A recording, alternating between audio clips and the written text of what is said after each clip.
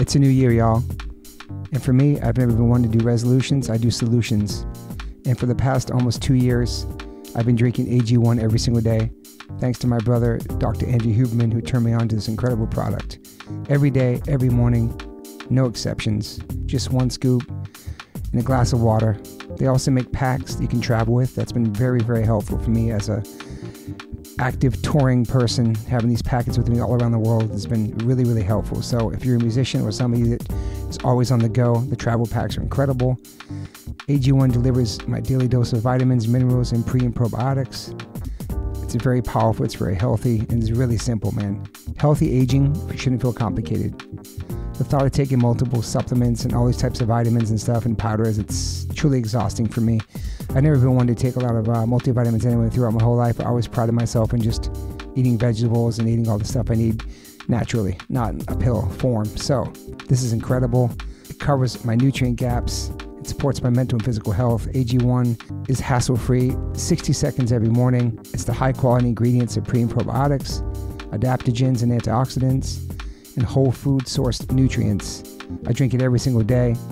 Every batch of AG1s goes through rigorous testing processes, and their ingredients are sourced for absorption, potency, and nutrient density. If there's one product I can suggest you guys, is the AG1s, man. This has been a life changer for me. So go to ag1.com slash OLC and you can get a free one year supply of vitamin D3 and K2 and five free AG1 travel packs with your first purchase. With AG1, I know I'm getting essential brain, gut, and immune health support, vitamins, probiotics, and nutrients for the day, and it's helped my mental and physical. So, if there's one thing I can uh, recommend to you guys, it's AG1's. It's my nutritional insurance. I pride myself as almost being 54 years old, not going to the doctor all the time. Knock on wood. I've been healthy my whole life and try to strive to be a healthy person, stay young, stay full of energy, and still do the things I love that I did as a kid. That's why I still skateboard, play music, exercise. So start the year off right. AG1, ag1.com slash OLC. Yo, yo, Liquid Death, thank you so much for hydrating all my guests, taking care of me and my family and my friends. Love your water, love your brand, love what you stand for, love what you give back to the community.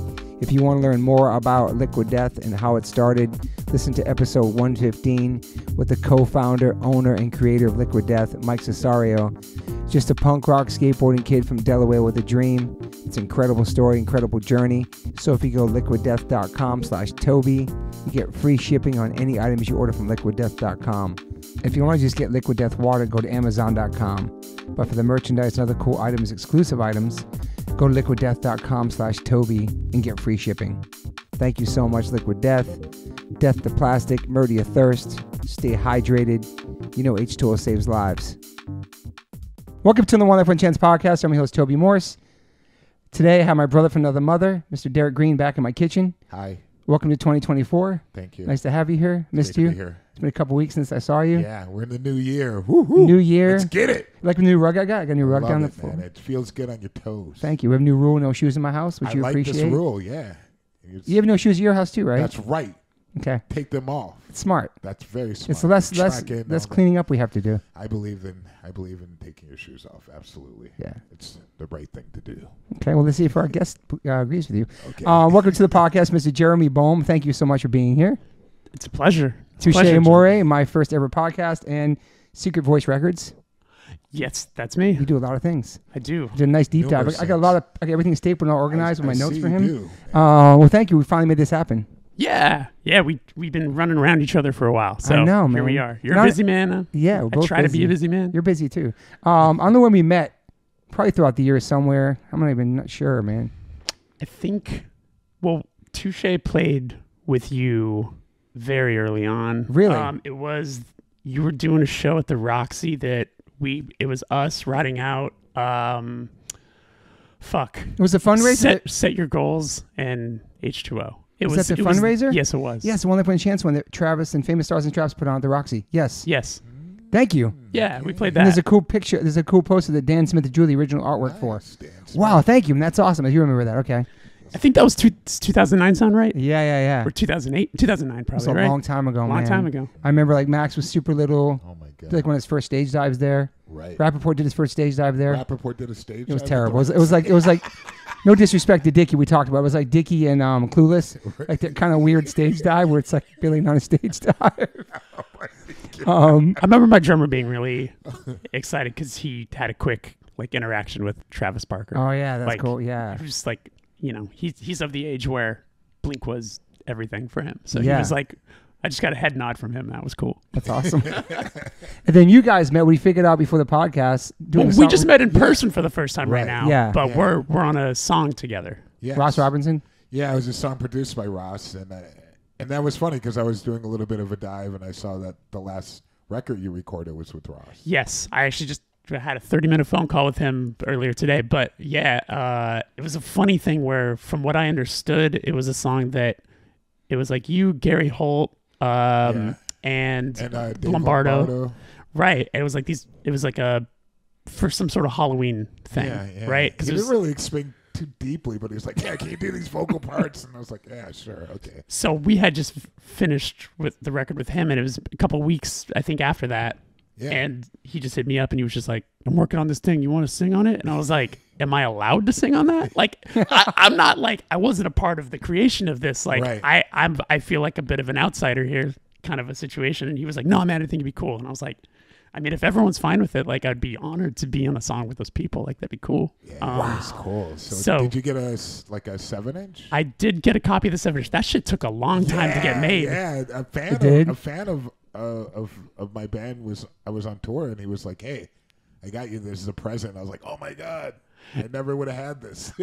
It was a situation where, like, I think, because it was 2020. yeah, So the pressing plants were like Yeah. Oh, as, yeah, yeah, as yeah. fucked Right, as, as true. humanly possible. So I remember because I was just like I didn't want to go through like having to have Ross tr- like track down a copy for me. So I was like, I'll just pre-order this. And I remember it literally came I think like a year and a half later. Wow, pretty much. Yeah, that's like almost like Maximum Rocknroll back in the day, like Oh, ordering from yeah, the, the fanzine right. and having to like send you order, and it takes like months. But we didn't complain about it because we had no s- social media or internet. right. We just waited for it, and just was so excited when it came.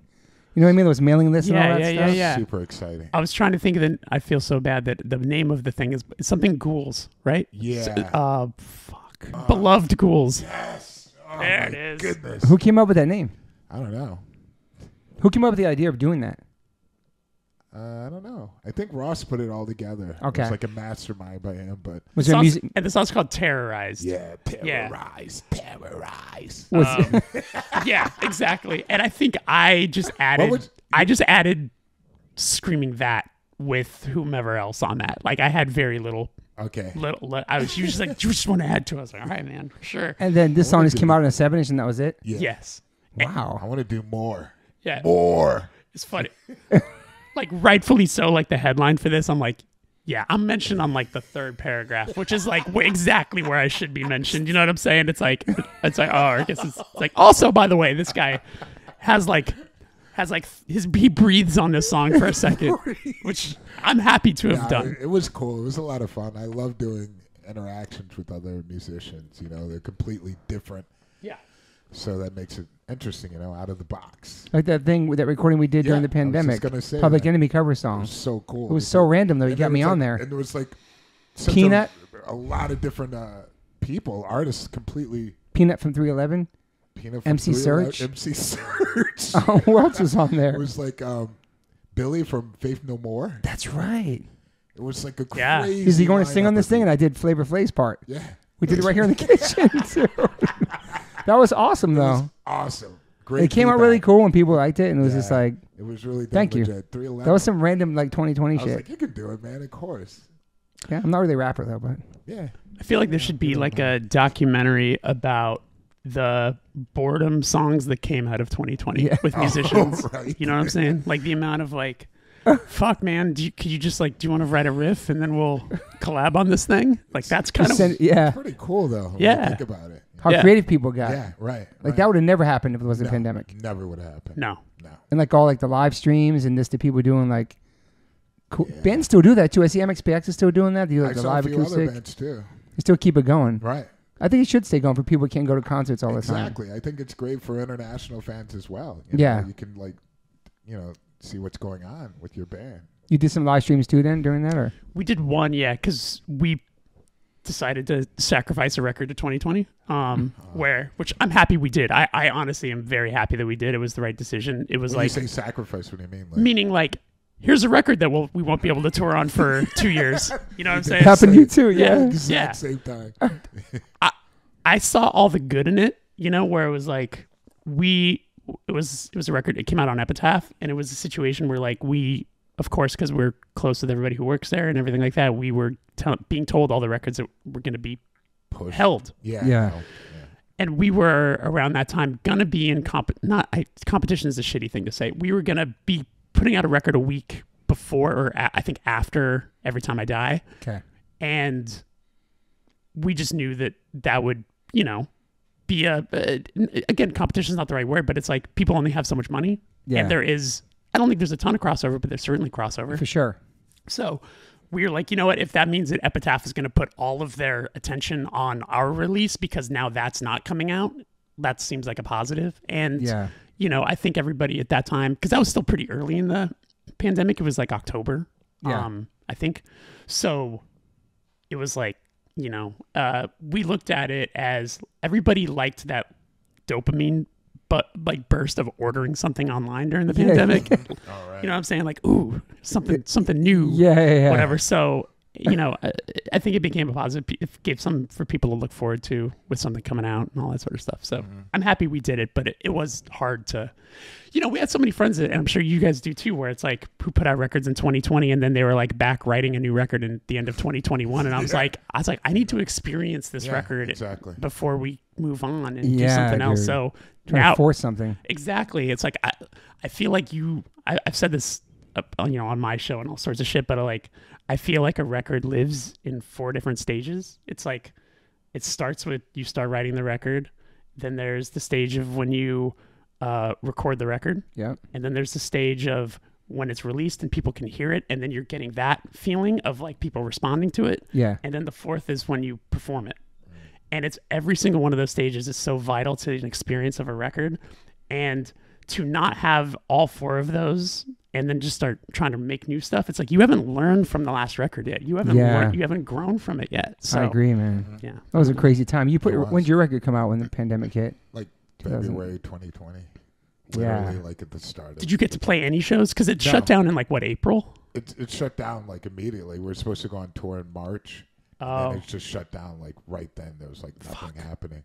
I was gonna ask you, Yeah. um, since the album people are at home and they had time to listen to, did you notice when you did go out and play that people knew the album a lot more than other albums or I you mean, know, did you notice a difference? Yeah, Good question. yeah, yeah. No, I, I. So the first show, so we did a live stream thing. Yeah. You know, as everybody else does, you have to Mm. deal with whatever you can. Um, and that was our first time performing it all together. Um, like relearning the songs and all of that. But then our first real show was um, Furnace Fest, Nice. And um, that was our first and only time that we were at that festival. And I remember having like a lot of thoughts about whether I was still gonna like performing. You know, like It was weird come back Yeah. into it. you go through that where you're just Yeah. like, am I still gonna like this? Is this gonna still this still what I do? same? Yeah. Yeah, yeah, Yeah, yeah, man. yeah, Yeah. all of that. And I remember thinking like, I'll know within the first 30 seconds. And we, course. and we opened, I think we opened with the first song on the record, which is just like a vocal thing where I just like, I say a thing and then the audience yelled it back at me immediately. And I got like, just, it just felt so, explain it felt so shit. great. And Yeah, I remember dude. just smiling big and, and thinking to myself like, okay, it's still there. I still, Yeah. I still got this. It's still okay. Yeah. Awesome. I remember just like you you went first on tour and I was still waiting things were getting canceled. I think you went out there first. Like, how is it? What's it like? You're like, it's weird at first, and you know, I mean, standoffish and like, Yeah. It was weird at first because also because my ankle was yeah, yeah, yeah, up. yeah. but it was kind of like the same thing like I would, that uncertainty of going out and then having the first minute or so I was like oh my god yeah i missed this Was know? it a U.S. tour? no it wasn't even a tour it was a few shows like in brazil Okay. and it was just like the feedback like you said of being able to play new songs that you've never played before was nothing I- I've ever experienced. But that time, I think that people had time Yeah. to listen to the material, Right. You know, digest Live with it, it. live with it for years, Absorb it. literally, Yeah, yeah, yeah. and then just anxious because a there were shows happening again, and B, it was like stuff they had never seen live. Yeah. so it was like Cool. a combination. Right. that made it so exciting and like I can't live without this, you know, playing live. Sometimes it's hard. Like a band just drops a record, then they go on tour the following week on the new record. Yeah. And kids haven't even picked it up yet, or they're picking it up at the show, and nobody's singing along to the new songs, and it's kind of adding those to your set list. I've always that was always so stressful Everybody for me, man. go through that. It's Playing new songs live. I've heard like Black Sabbath do this, you know, where they're like, "Oh, there's this song," you know, like Sabbath, like legendary songs, but even them playing songs that people had never heard, and then the audience is like, "Uh, "Yeah, all right," Yeah. you It's, know, it's like It happens to whoa. everybody. Yeah, Yeah. It, it's such it's certainly psychological warfare on yourself, especially as front people, because Yes. we are the ones that know whether a song works live. Hundred percent. oh yeah, Like ba- your band members, they just love playing the song because they wrote it and they and they enjoy playing it. It's fun So for them, true. you know. We're But, like, in the trenches. We're right up front. Like, yeah, like we we are we see it in the faces of people and we see it in how they move and and when you're first playing those new songs live, you have to remind yourself you're like maybe they're just enjoying it. yeah, Maybe they like just because they're not singing along doesn't mean they're not having a good time and that's Right. something I need to remind myself Yes, of yeah. constantly. But um but Especially once a coming record's from like a hardcore scene. totally I know. Why'd they die? Why'd they sing along? Like, yeah. there's a mosh part there. Yeah, yeah, Yeah. this is i mean that's that even turns into a different conversation like i was just talking to somebody the other day about you know when someone from a hardcore band starts a different genre like plays that a great great example would be Wes, obviously doing cold Yeah. cave after american nightmare i just have to wonder and i think i did ask him about it one time but like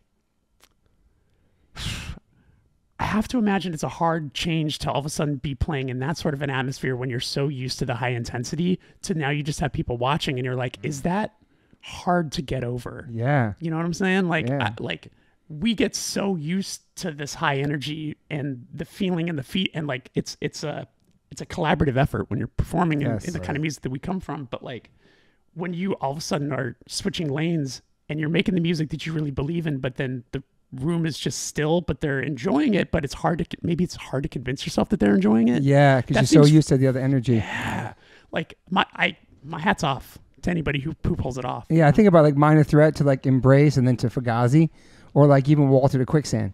right. But quicksand, you can this Yeah, mosh, this yeah. breakdowns in quicksand, you can rock out to it, but it's a different energy. Totally. I love, I Absolutely. love, but I love when bands do that. I love when people do I that. do too. I like how Angel Dust would be like, Justice would have a guitar and be singing these poppy songs, and he'll put it down and play total hardcore the rest of the set. Yeah, I love that, man. Yeah. I love that we can see that now in 2023, 24. Like, you're allowed to like different types of music and actually play that on stage and still be a hardcore kid. It Do you know what I mean? It was great, like seeing that with like Bad Brains. That was another The reggae, That's a great I loved example. Yeah. it. I was like, this is so radical. It's so cool, you know. And I love the fact that they weren't afraid to do that. You know? Yeah. Absolutely. Yeah. Hardcore is such an such a different world now. And I love it. Yeah. You know what I mean? Like we talk about all the time, and it's just the diversity and the different bands, and like it's it's thriving. You know what I mean? The Yeah. hardcore bands and just everybody sounds has their own style. Not everybody's original. You can't be original, but everybody has their own original kind of take on everything. Absolutely, yeah. Different definitely a lot melodies, more it's- diversity in the scene too. Even more diversity, like More than back then. Yeah, more women at shows, like which is really cool to see. You know, like up front in the pit. You know, If you think about like Seven Seconds, Walk Together, Rock Together, and not just Boys Fun, those songs where they were singing like 40 years ago, that that wasn't really even happening at that time. They, were- they were trying to make it. True. People were still fighting It's during true. those songs, Yeah, but yeah. now everything we talked about and sang about the bands we grew up on, we actually see it happening now Yeah, with diversity. Do you know what I mean? Yeah. It's Absolutely. beautiful, man. Yeah. It's such a crazy like you've seen it too. Obviously, you've been in the game for a yeah, while. Yeah. It's Yeah, cool, no, right? It's, it's I yeah, I, I feel like we've always been really lucky to have like kind of a mix of a lot of different people from the get go. Yeah. You know, I feel like we've always sort of been the outlier in a lot of situations. Mhm. Um, which at times if you're if you let your ego get the better of you, it can work against you. But then um, once you finally embrace that, it's it's really awesome, and then you can sign a you can find all the greatness in it. And I think um, our our base has always grown with that too, where um, we are sort of we've always kind of had the weirdo. You know, where, Yeah, where, yeah. It's, where it's where it's like you get you get the kid who likes crust. We've always had a, a great mix of like a mix of crust kids. We've had Yeah. a mix of like metal kids. We've had a mix of hardcore kids. All all sorts, and then and with that comes all different walks of life. You know. I love that. Yeah. Because I was doing a little deep dive on you. You were like a, a metal metalhead kid, kind of at first, kind of high school and then middle school. Totally, yeah. and like Victory Records is kind of like your thing you found. totally hardcore. Exactly. That's that's that's what it was. Where I mean, when I first kind of, I always I've, I cite it uh, often where it's like I got that Ozzfest '96 yeah, fucking Right, right. VHS, you know, which has Earth Crisis on it. yeah, yeah, yeah. That's right. And at that point in my life, like I was a big Sepultura guy, still am. Uh, fucking Fear Factory and Fear and- Factory, wow. and all of that. But what that VHS had, there was the outliers was Earth Crisis and Neurosis. Okay. And tho- and watching those two sets, you're like, okay, this is different. You know what I'm saying? Yeah. There's a few bands on that that I liked at the time that are that are a bit like more gimmicky, you know. Mm-hmm. And then you're watching that, and then you watch Earth Crisis, where you're like, these guys are just in like camo pants, hoodies, and they're why are, why are their hands X? Like, what the fuck does that mean? Yeah. And then um, so Basketball jerseys. Right. And I joke that like I think this might be lore that I created for myself, but I like to think that the time that I bought I bought Gomorrah's Season Ends the same time I bought Butchered at Birth from Cannibal Corpse. I bought them both at the same time, right? and I remember listening to both of them. And my life could have gone one or two ways. Yeah. And I remember thinking, you know, I think Earth Crisis has a little more to say. Wow. You know what I'm saying? Like, Yeah, like yeah, yeah. I, I, I look, I like Cannibal Corpse as much as the next person. They got fucking, they got songs, they got the, whole thing. But, but there was more that I that I found in Earth Crisis. Spoke to you. as a good message. Yeah, yeah. Yeah, and also, you know, I was 13 at the time, I think, and I Had you not tried anything before at that moment? I'd never done any drugs. I'd never done anything like that. And I, it was at the time of your life when all your friends are like smoking weed out, Yeah. of, out of Totally. apples and cans and shit like that. Um, I never had any sort of like cool uh, reasoning for not doing it. I was just like a kid who was like, I just don't want to upset my mom. I just don't want to let her down. Yeah. Kind of a thing. Um, so yeah, like when all of a sudden I'm like, wait a minute, I can just have a buzzword for why I don't do this as opposed to just saying like, I don't want to disappoint my mom. I can now say, oh, I'm straight edge. Yeah. You know what I'm saying? And I never, I didn't, you know, me and my friend at the time, um, we both came, you know, found these bands at the same time or whatever. So we claimed it together. So we were the only two guys in this. I didn't meet another straight edge person until I was probably like 17, 18. Wow. So we were just these like fucking losers in Burbank. just being like, yeah, we're this thing that we don't really know much about, but we are this thing, you know, whatever. Was it something that grew in your mind also the fact that they were talking about uh, not eating meat? And No, because because because unfortunately, I am a piece of shit who does eat meat. So that It's all that, good. that I was part, just wondering if that yeah, yeah, No yeah. judgment, no, dude. No, no, no, no. Uh, so and it was what's what's funny too is that like, you know, this is nothing that you guys probably haven't talked about a million times on the show or whatever, but like, you know, it's the record label game where Yeah. you find. So I was a because I was such a metalhead kid, um, I had a big connection to Roadrunner Records, Okay. who also put out hardcore bands Yeah, that I did not realize were hardcore bands. I just to me I was like, it's For just heavy and aggressive. Vision of Disorder, VOD, man. VOD. one of my still one of my all time favorite bands. Don't get enough props either. That's nice. Talking And uh, I went my first hardcore show that I officially went to, thinking it was like knowing it was different was VOD, Candiria, Scarhead, and Buried Alive oh wow. at the Troubadour. Huge Wow. Candiria. What year was that? 90s. Yeah. Mm, I might have been 2000. Wow. It might have been 2000. That's crazy build, dude. That's a crazy it's a crazy bill. And I'm and Buried Alive played first. Wow. And I remember being uh like we went up. We were That's on the, Vogel's band, by the way.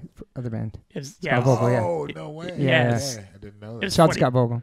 it was funny telling him Oh, eventually wow, once once he and I that. became friendly. I was like, you know, Yeah. by the way, I was you guys were the They opened, damn. yeah. So they played first to four, and I remember that was the first time like seeing hardcore dancing and being like, well, this is fucking different. And you saw Scarhead. Wow. Yeah. Wow. Uh, yeah. Shout out to Isaac.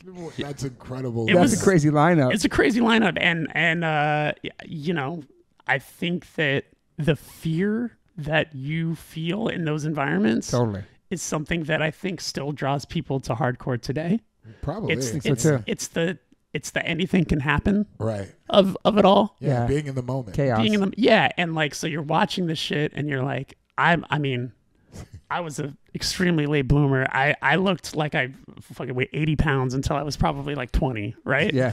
So like I you could I I would be destroyed in that place. You know what I'm saying? So I was like so on the edges like oh, this is so fucking scary. So my first like accidental hardcore show though was uh do you know the band Far? Yeah. Yeah, you do. Yeah. Uh one of my all-time favorite bands of all time. I know they tour with with Sepultura. I think that was maybe Before. before your time. So Sorry, Derek. It's okay. yeah. So, um, they're one of my all-time favorite bands, all-time favorite bands, and uh, I went to see them at the Roxy right before they broke up in '98, and I was front and center again. Could not weigh more than fucking 90 pounds. Yeah. I'm tiny. And there's photos from the show that I found online oh, before. Oh, wow. I'm, cool. You can see how small I am. I am up front, front center. And just before Far takes the stage, Jonah Jonah Matranga walks up to the mic and he says, "We're gonna let our friends play a couple songs. They're called Snapcase." Oh wow. and man. Snapcase plays, and it was right as Progression came out. Yep. And I remember being like, "Interesting. What does that mean? Who are these guys?" And they just launched into it, and Kill it. you could tell i don't know how but there was people in the audience who knew this was going to happen because the place went fucking haywire. Kids were jumping off the stage. It was just like really really crazy. And i remember being very upfront and scared for my life but also feeling that like oh I, this is scary and different but Yeah. I, I want more of this. I don't know how to find it but i want more of this. Um, so then when i found the earth crisis record and then you know kind of it was around that same time that i found the earth crisis record. So or no it was yeah maybe a little before but so i was starting to understand what victory records was so like Strife. strife and yeah i, I That guy. so i got into strife because there was a record store at the top of my street um, growing up that sadly you know closed probably in fucking 2002 or something but it had a great name it was called db cooper's Nice. and they and because it was in Burbank, which is where I'm from, which is a entertainment town, you know, there's nothing that a fucking disgruntled, uh, uh, underpaid intern is going to do more than steal fucking promos and go sell them at the record stores. True. So Been there, done that. straight up, Yeah. yeah. So Shout out to Rope on Records. okay, go ahead. so so yeah, like th- these record stores in Burbank were just like chock full of promo CDs that were 99 cents, you know, because it was just like a bunch of like fucking punk and hardcore or, or whatever else, like stuff that distros had that had Yeah, extras yeah. of. So I would go in there fucking three times a week, go to the used 99 cent section and open up everyone, read through the booklets. So I found Strife because I was a metal kid and Chino sang on that record. Oh, that's right. So I was like, Chino was on this record. Like, I love, like, what the fuck? What is this? So I bought that Strife record because of Chino, which That's is cool, funny. man. Um, Shout out to Chino who's been listening. To, he listens every week. So shout out to Chino listening to this podcast right now. damn. Love you, Chino. Nice. Uh, so yeah, That's cool. I knew he was on the Strife record. That's cool. Yeah. yeah. He's, I think he has two, two little parts on him, Made specifically one for sure. gonna find out Chino was no secretly idea. straight edge back in the day. I'm gonna find out. So, uh, yeah, like, um, it was cool though. It was my other band. I play, I play in a band that Harley's active called Hesitation Hesitation Wounds, Wounds, yeah, yeah. and we got to open up the. The last time we played was the 10 year and or so what, probably fucking 30, 20 year anniversary of the California takeover, Oh yeah, which Strife, was- or Strife, Snapcase, Earth Crisis. yeah. So, uh, before Snapcase went on stage, I like I just like went up to him and I was just like, "Hey, want to hear a funny story?" And I told him that story. They're like, "Holy fuck, I remember that night! Like that was crazy! Like you were there! Like wow, I hope this whole full circle man. situation." So it crazy, was really man. sweet. It was a sweet moment. crazy. What a great band, Snapcase, man. Yeah, absolutely. Very unique. Incredible. Looking Glass Self. And that time period was so cool. It was definitely right when I got in Sepultura, we did a tour, and it made it more comfortable that we were touring with hardcore bands. And the two bands that opened were Earth Crisis and VOD. Oh That's shit! the tour. Sick it was tour. a sick tour. Yeah. It was a whole Wow. like, it was incredible. And then Victory had a big impact on us because Igor and I were really into hardcore and we're Right. really into Victory. And then we're like, man, we should get that band Hatebreed to open up for us. And uh, and we just heard all these like horrible stories. Shout out to Jasta, man. I love I love you, Jamey, but the shit was like people were just like, I don't think that's a good idea. Even Victory were telling us like, I don't think you So you guys never played with Hatebreed? no, we did. Okay, we were like, we just decided you like could do it screw the label. Yeah, yeah, yeah. They're in an argument with the label along with like every other band and you know hating their label. Totally. And so it was just it just ended up like doing that later on with Hatebreed tour and then going to Europe with them. It was a Right. good tour. Like, it was a fantastic tour. Yeah, it was fine. It Did was you- fine. Yeah, those guys were completely respectful. the whole Uh, time. Were you because the time because that timeline is like what year did you officially start touring with them? 98, so this was like 99, 2000, that time. Okay. Did you ever tour? Was were you in the band when you toured with Downset, or was that before? Yes. Okay, so Yes. when I Wow. worked, so record store that I worked at in Burbank, uh, the bass player James uh, was my coworker. Okay. I remember James. Yeah, yeah, yeah. James Morris, yeah, Yeah. and he's James was like very, very important in my like becoming a person Okay. Wow. because I started. So I started work. So I graduated high school, and the first Saturday after I graduated, I started working at that record store. I chose that instead of going to college. Wow. The one you grew up going to. That's cool. Yeah, so That's awesome. Uh, so it wasn't DB Cooper's. It was one called Back. Okay. It was one called Backside. Okay. Um, but yeah, so James worked there, and I always knew James as like dudes in downset. So like, um, and I loved you know fucking Do We Speak a Dead Language and all that. Great stuff. album. Um, and That was cool. He's working there and being being in downset yeah. because he had that big song "Anger" right on TV. I almost Yeah. want to say that downset one because I started working there in 2001. I think that they had kind of wrapped up at Okay. that point. Yeah. Um, That's right. It was a while but they had ago. played once he and I became friends. I think they played one or two shows, just like quick Oh, little reunion yeah, things yeah. or whatever. But um, he was, yeah, I mean, very, very influential and like always had a great story. Like he had stories about fucking touring with Pantera that were crazy. He had stories touring with Earth Crisis, touring with VOD, like all of these bands or whatever. Right, so, right. so yeah, I knew that he had toured with uh with Sepultura at some point. But yes. great guy. We did a tour. It was H2O down downset shelter. It was pretty sick. That's amazing. Yeah, I forgot What year it was that? I don't know. Like '96 or something. Probably like that. Ninety seven. Yeah, it was a crazy package. That is a crazy package I love a good downset. They were Yeah. incredible, man They were great, man. Um. Very unique. Yeah. Yeah. Yeah. So Burbank was it? There was not, not much of a scene out there, huh? In the town Just you or- and your friends. in the town ordinance right now, still because of the '80s, because of fucking satanic panic and all that shit. It literally says in the town ordinance, no punk shows. Wow. So, sacrilege. so Come on. that's also why there's no tattoo shops in Burbank. There's fucking 12 gun stores, Wow. Wow. but there's interesting. but there's no fucking tattoo shops because they're still they still think that they have this. You know, it's got a Super conservative. it's got it's got old money, old white money, old Yeah, yeah, you know, yeah. it's got a lot of that. Um, so it's a weird place to. Gr- it's a it was a very weird place knew to grow up.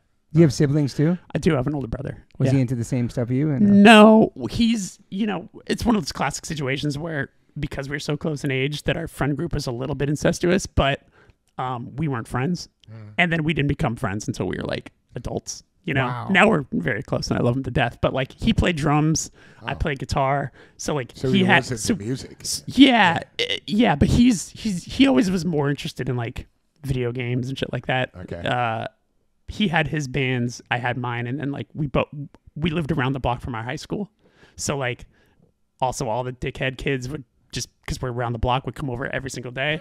I'm a latchkey kid because I work in you know I was I child of divorce, both parents you know just having to work super hard to keep the lights on, so like living around the block with a mom that's not getting home till six. You know, it's like it's just Yeah. you, you have a bunch of all your asshole friends Wow. over in the backyard every single day. were you a wild kid? you know, I wasn't, but I was friends with all the wild kids. Yeah. So like, I would get in trouble by proxy. Yeah, You know what yeah. I'm saying? Like, Yeah. whatever. Association. Guilty by association. yes. Exactly. Exactly. Like, wow. And you a good student in school? No, no, certainly not. no, no, certainly not. I uh, also use that, you know, like the latchkey situation as as like a. I'm I'm not doing my homework because my mom's not asking to see it, but I'm gonna copy it off the kid that, that- before I Yeah. start Right. before before class the next day. I, I tried to be friends with as many people as, as possible so that people were down to like let me copy off their homework. Wow. so you're, Um, out, you're outgoing kid. Kinda. I, I don't know. I, I just tried to get by and like not cause friction as much as possible. I think that's still kind of who I am today. Playing sports in school? Fuck no. Same. I hate that shit. Sorry, Derek. Oh my I goodness. fucking No. hated sports, like bro. No, I Fuck the jocks. I I was didn't not down like with it. jocks. I liked the sports, but I didn't like. Yeah, the I never people did involved that. In it. I, but I, the the dude who sang in my high school band Right. was on the football team, yeah, so he was a rock and jock. rockin' jocks. Was that the band Thriller? No, the, well, it was the band that that turned There's a band into. called Thriller too. Yeah, that, that was the band that that turned into. Okay. So, so the high school band like went on way longer than it should have, and then turned into that one, one of those classic situations. Um, but uh, yeah, what was I gonna say? Um, Where'd Thriller come from? Was it from Michael Jackson? I, I mean, I think it was just like kind of a like that's kind of cool. Like it's kind of a fun name. I don't really remember. It's like Oh, name. I never even thought about that. yeah. Yeah, it- I mean, before that, it was called Stricken, which is such a bad Stricken. band name. That's a very, very high school band stricken. name. Yeah, yeah, One one of the one of the um, hamburger safari was one of the names of the thriller. yeah, That's an interesting It's name. very interesting. yeah. name. It- it- this is the classic example of when you and your friends make bad decisions, thinking that no one else would ever hear it, and I never have to talk about it. Fucking twenty years later on a podcast. There's no, there's nothing out there online. yeah, I think the bass player put up do one of the that? EPs on Spotify.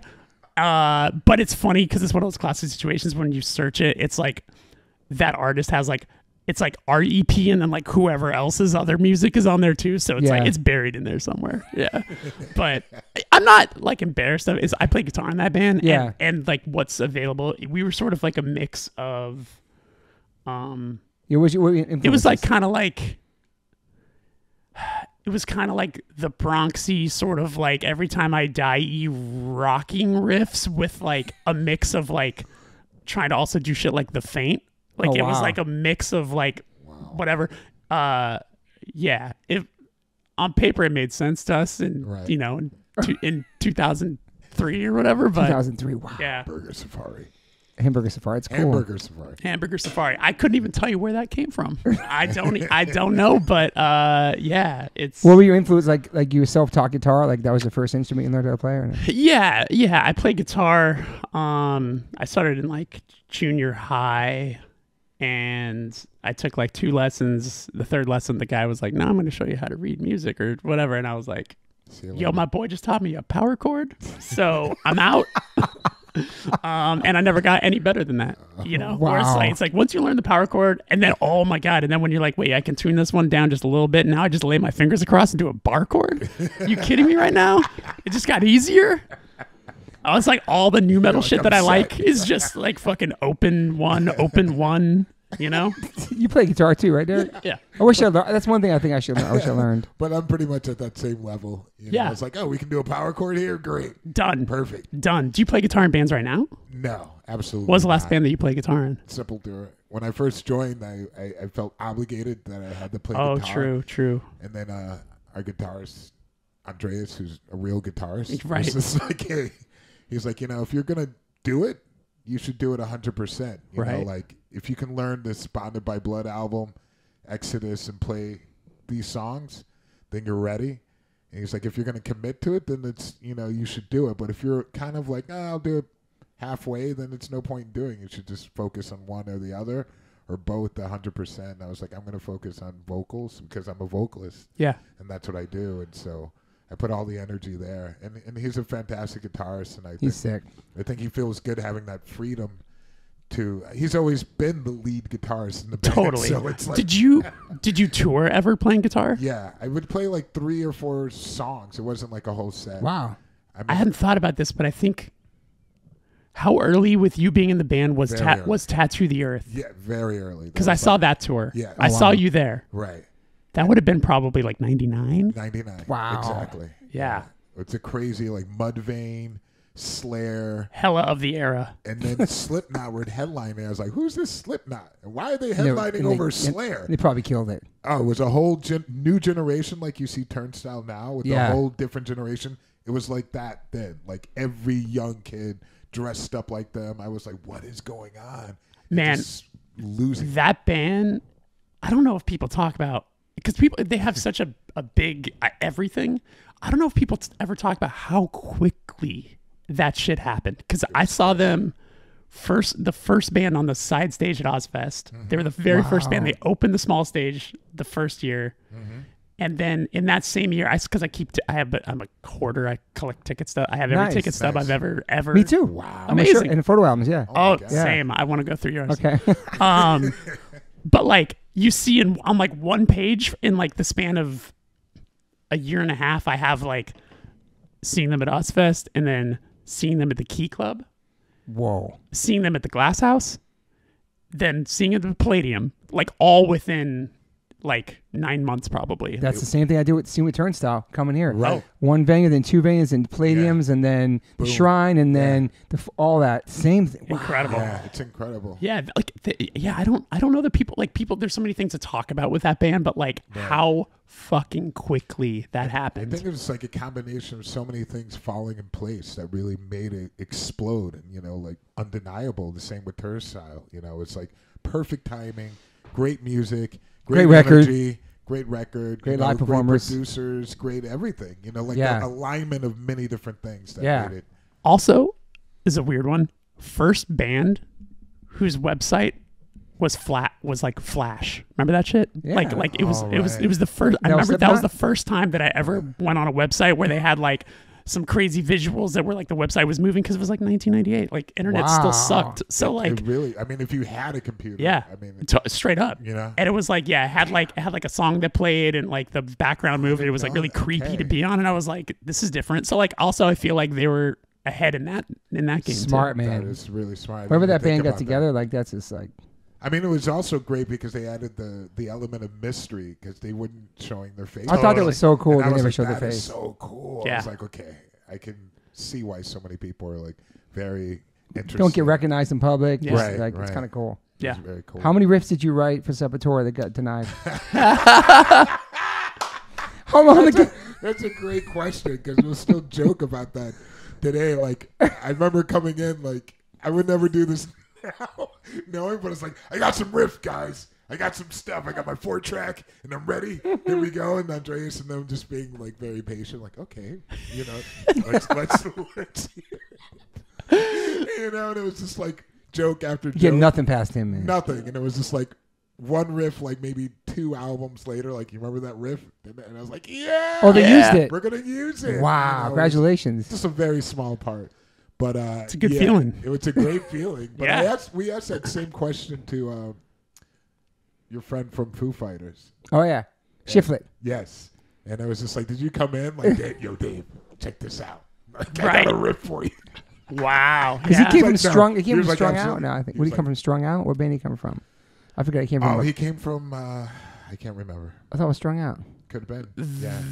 vandal No, not not Vandal. Vandal. is it Strung Out Not less than Jake. Not the Strung Out. No. if only there was a device well, he, he he definitely came in. and I was just like, he was like, no, I, I, I did not do that. I was like, yeah, you're smart, like, because I just thought it was funny. I I think it was. I mean, important- writing songs in a hardcore band is different. Then you get to like yeah, yeah. Foo Fighters, or then you're in Right. Sepultura, and there's like original members and no use for a name noise for a No use name. For a name. Yeah. Yeah. Yeah. and That's me right. first in the gimme gimmes interesting Yes. yeah So it's it's a funny thing, but no, I wasn't a guitarist. I was think- I was like something I did out of necessity to stay relevant before even Sepultura. was like trying to put a band together, Yeah. having people, you know, after.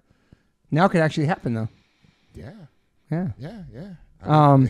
so f- one of your first big shows was a Bowie. You said Nine Inch Nails. Was that something? It's the first, They, yeah they played together. yeah yeah, they were on tour together. yeah that was a big that was a big one That's a.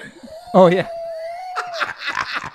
Huge Bowie fan. Huge Bowie fan. Bowie's sick. I I, Um, I, I say that uh, I wish that of all the shows, I wish I could relive that one. Not just because it was the first one, but also because you think I gave a shit about David Bowie in 1990? I did not give a Nah. shit. I did not appreciate what the fuck I was seeing. I was Right. I was I was a fucking goth kid who was like, Yeah. I want That to. was the Uh, pinnacle of that. Yeah. yeah. So Were you a big I- Nine Inch Nails fan though? yeah, Yeah, yeah, yeah, yeah. yeah. So it was. uh Yeah, that's crazy. I did do not That's a crazy appreciate- package. Because they know. did they did a record They did or they did songs Ah. together and shit like that. It I was think for like a soundtrack for a movie. They did. it was around the time of like the Lost Highway soundtrack and all that sort of stuff. But I Lost think, Highway. but I think that, so. There was this, Trent produced the song "I'm Afraid of Americans," which Yes. was Yeah, the yeah, David yeah. Bowie I'm song. I'm afraid of Americans. I'm afraid of the world. Yeah, yeah. song goes. um, Lost Highway. You said? Lost Highway. Around Oh my the time, god, yeah. that's one of my wife's favorite movies, and it's one of the most boringest movies in the planet.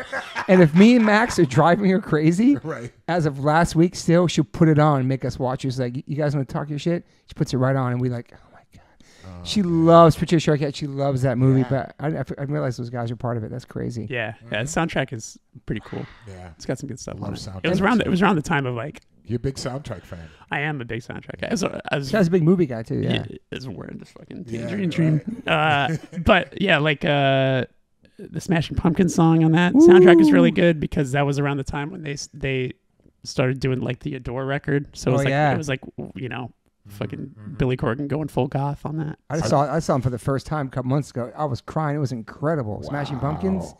You know how many songs? It was like in Orange County. You know how many songs you know by them.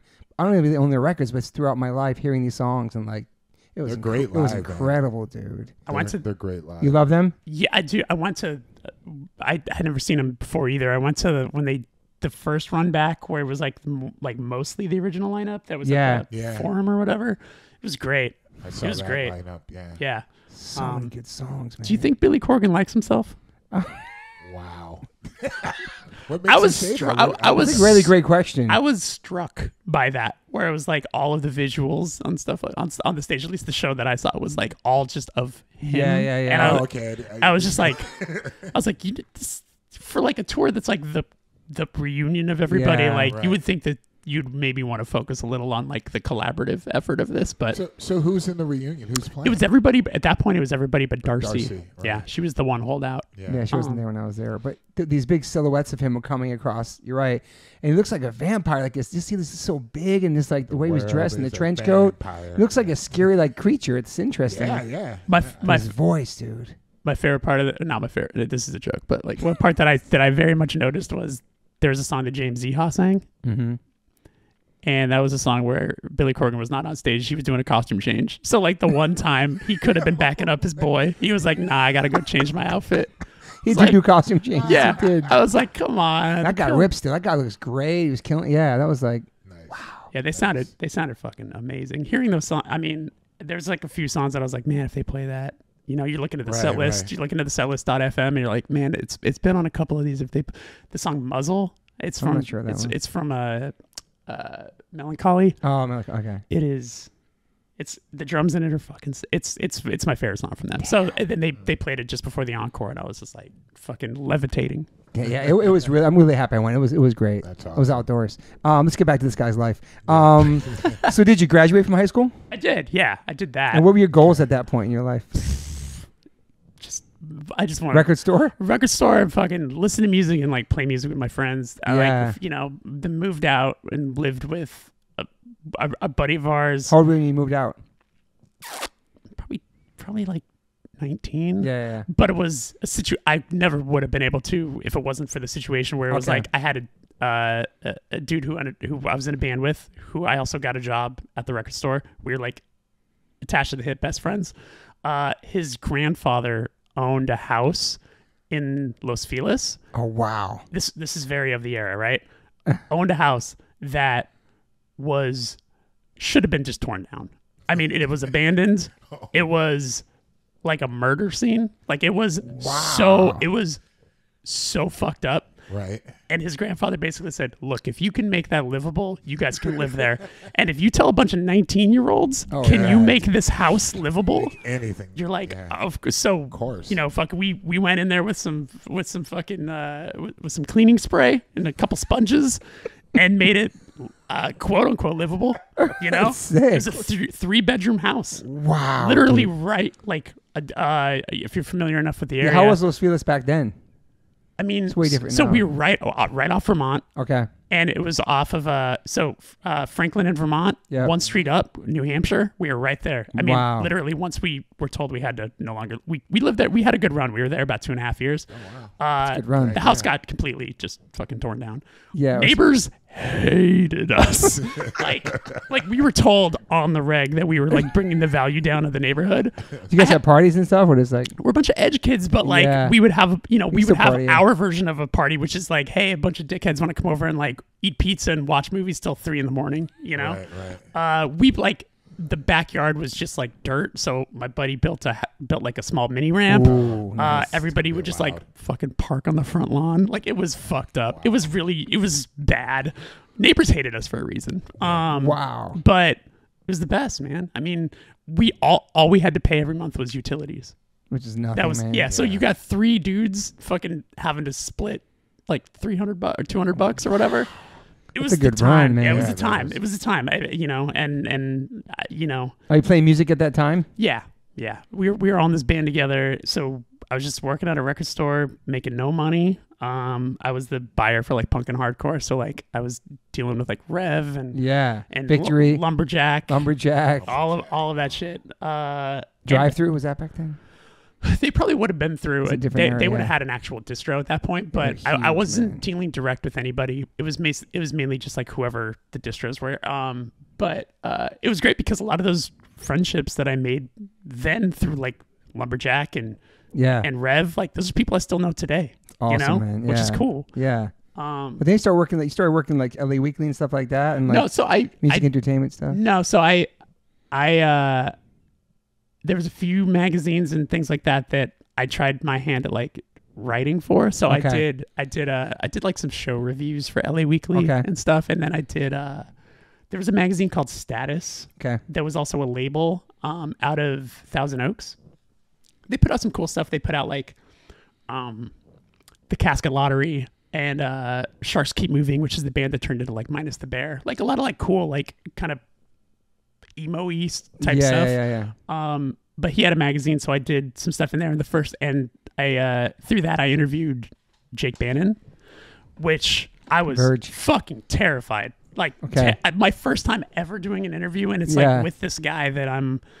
Converge is my favorite band. Okay. I'm just like, Then you get an imprint on Deathwish later. uh, uh, right. and I- Wow. we, have, we we get to yeah, like we get to put our records on Deathwish like the whole thing. So it was like whatever. But Jake claims he still remembers doing that interview with me because they played at the um the Troubadour, and I just sat on the curb with him outside, and he let me talk at him for. That's so hardcore. Like outside with the singer, the, the sidewalk too. It's yeah, dude, we just yeah, we That's just cool. s- sat on a curb and and and talked, and um, I still have a copy of that magazine. Um, That's cool. and yeah anyway it's, it was yeah so I, I, I did that for a while which was a lot of fun just doing like you know because my friends and i were always doing like our top tens of the year and writing about records and stuff. So it's like if someone wants to pay me you know let's be honest probably $40 to like do something you know like sure.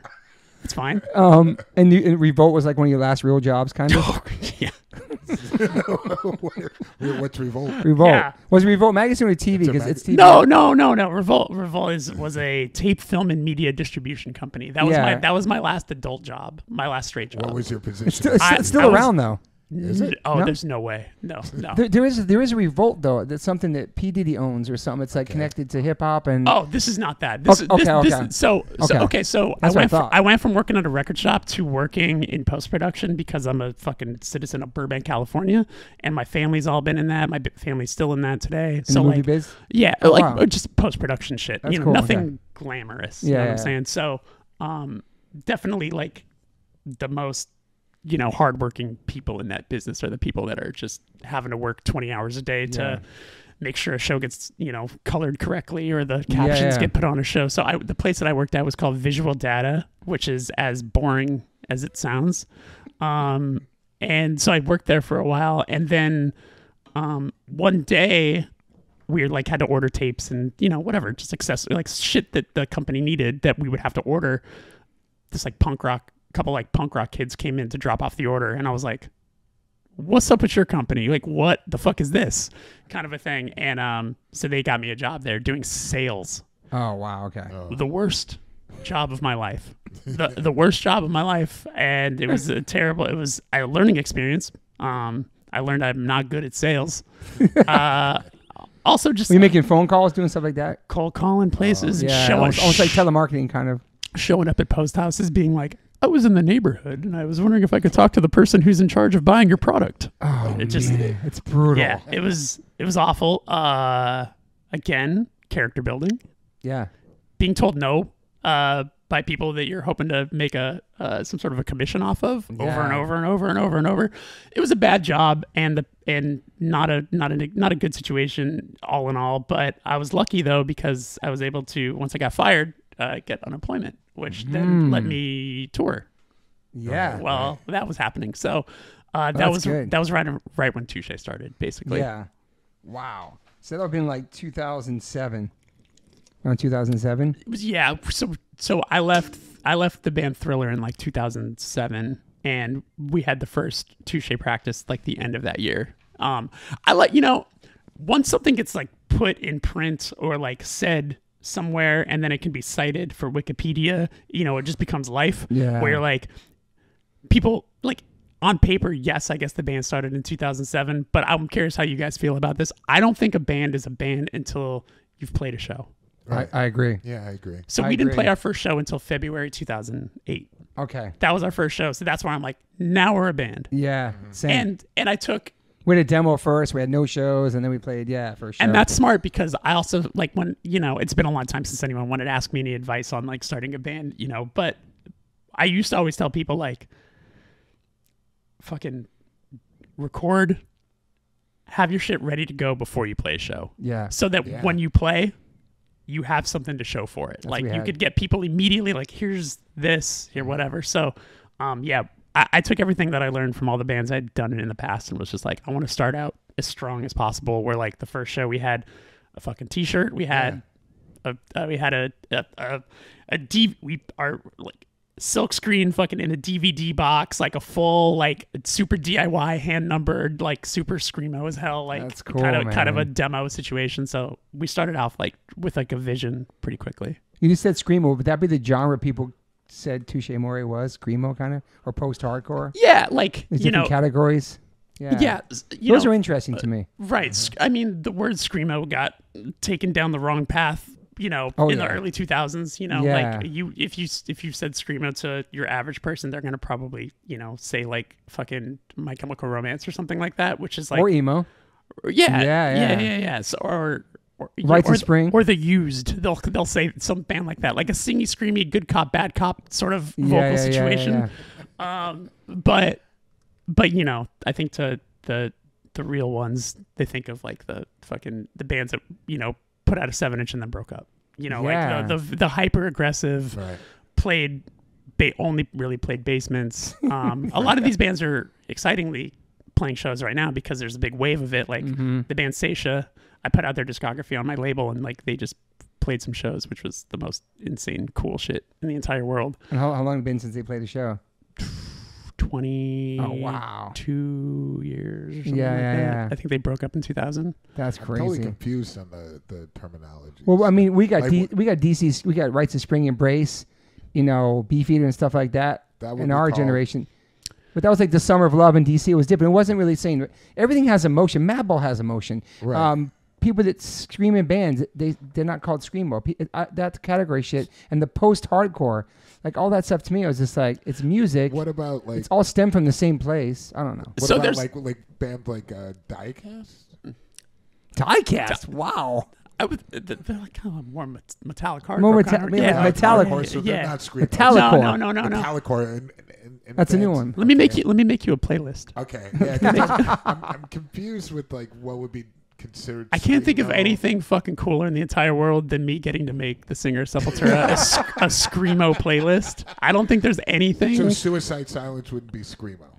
no, no, Okay. no, no. That's that'd be like yeah, like deathcore. type Who came up with the, the genre? It's 'Cause just I, I'm, interesting. I'm really 'cause So- okay, those so- are the yeah, two yeah, bands that we so- toured Break it and I down was for us. There's a lot So- of screaming going on. So And like a lot of bands. Here, here's I mean, here's kind of a way to kind of maybe break it down. Okay, so uh, there's emo, right? So like, and let's Oh, let's let's sweet. let's let's Oh, take it okay. from let's take it from like the Rites of Spring sort of energy, right? Like Okay. that Embrace sort of greatest. that, Okay. that sort of stuff, right? Do you like Right. embracing Rites of Oh yeah, yeah, absolutely, absolutely. Okay. Um, and then then uh, you familiar with like power violence? Like like fucking like super Yeah. hyper aggressive, Yes. like blasty, sort of crusty punk Like or Zulu whatever. kind of beats. band sure, Zulu. sure. Okay, right. yeah. So uh, there was a term even for a minute called emo violence. so you get a mix of that, right? So so old. so so it's Emo violence is Oh, hard. violence. so Wow. so emo violence. Like when you think about that, right? So it's like it's like. I Ja- it's jangly guitars. Right. It's loud yelling. It's it's attitude singing. It's very emotive I see. and very hyper abrasive. Autotune mix singing that on purpose? with like Okay. it- just purpose, like right? just yelling Yeah. Yeah. just okay. yelling over each other and then so jangly ass guitars and then all of a sudden you just implement blast beats and shit I see. so it's it's hyper aggressive very melodic Mm. and um it's not the hardest music in the world to make but Mm-hmm. it's it's pretty goddamn good Wow. Yeah. Okay. All right. so, so and and currently right now there's an entire wave of like a whole new generations of band and that's the that's the shit that influenced touche when we started Okay. So that's what we were trying to do. But I think that there's elements of like the hardcore kids in us that also shine through. Where it's like we started being like we want to be like a Page 99, like an Orchid, like those are like screamo bands. But then also we're influenced by AN, Hope Conspiracy. Yep. We like stuff like that too. Who's the biggest screamo band you would think? Like who? Like So is, like, the hmm. main define. You know, the band that defines Ooh. the terminology. so screamo. the big three okay, yes, are I'm. Saetia, who, I- who I mentioned before. Never who- heard of her. Right. Yeah. There's Saetia. There's Orchid, who just announced reunion shows that all sold out in a second. They're playing like a fucking. They're doing like three nights in New York, Wow. um, like all in like 1,500 cap rooms. Um. it's crazy. Okay, So there's Saetia, Orchid, and a band called Page 99, who I've also 99? cited. Okay. Yeah, and they're from Virginia. Um, and they've they've on and off been playing shows. are these bands like the originators of it, or like the? They're Probably for that time. For that for the for like the That for like the generation? late Okay. 90s, early Yeah. 2000s. 'Cause we're right? Oh, talking- late nineties. Our shit's wow. 80s. Our shit, we're talking about Right Yeah. to Spring. That's beef. All that's different. Yeah, Yeah. yeah.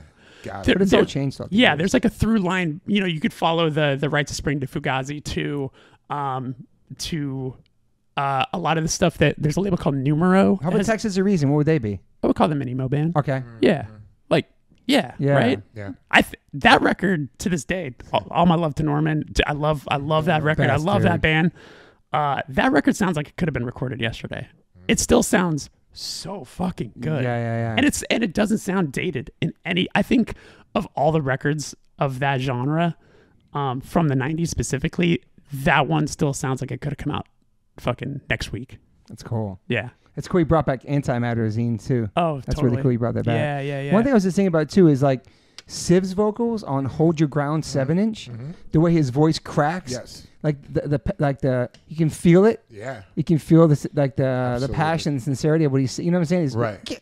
I forgot what song it is, but his voice cracking on the seven Oh inch. Oh yeah, and a few. That's very emotional Parts. to me. Like that- Extremely. like listening to that. You know what I mean? a voice crack on a record will, or a song will make a song for me yeah. You know what I'm talking about? Like yes. early GB stuff. Yeah, yeah, yeah, absolutely. I mean, it, that that's the stuff. I mean, also fucking just bringing it back to Ross Robinson. That man thrives on that Oh, shit. yeah, he does. He li- He did some big records in that that genre. Did well, he he did did, my camera now. No, no, no, He, but he did Glassjaw. He Oh, did. Glassjaw. uh, Shout out to yeah. He did at the drive-in. Another Yeah. one. Yep. Um, Yeah, he's really a big fan of the moment of bringing out whatever that emotion is in that moment, you know, and going with it. You know, it doesn't have to be perfect, and that's what makes it so perfect. Yeah. You know, that in a weird way. he and I had like a. I mean, Korn was Korn. So after- biscuit, after Cure, he's done. I was like the biggest. Like just I lived and breathed Nirvana as a kid. Like that was my favorite in the entire world. Uh, Kurt passed like just before my birthday when I was like, yeah, I would have been 11 years old. Wow. and I took that like personally. Like I was like so distraught and upset by it. Like you know, I, I just I say like I, I genuinely thought music was like done. I didn't think there was Yeah, ever going to think anything was ever going to come back. yeah. Yeah. Um, so I, I I felt empty, and then I randomly saw the video months later, like in the same year, for "Blind" from Korn. and it was so scary and aggressive to me that I was like, "This is so different." Like my brain can't compute the idea of a world where Nirvana and Korn could have existed in the same Right. world, but they, Right. but for me, it was a torch passing, even though there's nothing in common whatsoever. It's interesting. yeah. Um, but for me personally, like what I found was like, okay, this is something new for me. So whatever. And it's interesting. So now that we've worked with Ross, who did that first record and all of that in this cool full circle situation, I remember having like a really in depth conversation with him about what I think drew me to Korn and what drew me to his work, and also what I'm still doing today, which is there was the vulnerability in mm. all of that. You know, Yeah. like you got Jonathan Davis crying on those records. You got all the stuff that he did. It's like all of that stuff. You feel the vulnerability in it, and that's what I think continued to drive me into finding hardcore, into finding emo, into finding all of this stuff. It's just like sifting through that and the imperfections and the voice cracking, and, Yeah. and all of that stuff. It's people who are really trying to say something. Yeah. I, I agree with that. interesting. I mean, yeah, I, I can. agree another example of that to me is that I feel like seven seconds. Almost a lot of the drum beats were exactly the same, but every song was different in the message. I cared about the message more from seven seconds than I cared about the music. But every beat sounded like it was on. Sure. Like everything was kind of the same on those walk together those first couple records before they went more melodic. But I agree. But it was like the, it was were it was the like, message to the me. The message was The lyrics. so strong, and the lyrics were Yes. so powerful, and, and definitely had an effect on me much more than the actual music. Seven seconds too. Absol- no, absolutely. Yeah. A hundred percent because it could be like, oh, they're right playing the same song, but the songs are so different from each other. Especially what he was talking about back Yeah, then. Exactly. Was never talked about. And I thought that was the coolest thing about them. And they had great melodies too, though. Even though the songs, there's things that just stuck in your head, and and I, I mean, perfect. I But you felt that. it, like he's talking about. You Absolutely. felt that. Even Yeah. the, I can listen to Embrace record and cry. Listen to it at this moment if I listen to greatest Embrace. recording and everything like that. But you- it but you is. feel- you feel it, yeah.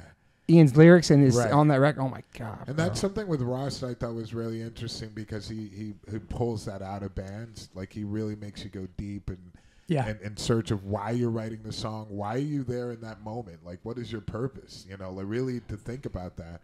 Um, and that and that was something that I wanted to experience because I heard so much from those guys. They're like, oh, he did the Roots album. It was insane. We're doing all sorts of weird stuff that we had never done before, and just getting themselves out of the box and just being who they are. You know, a band coming from Brazil, embracing those elements.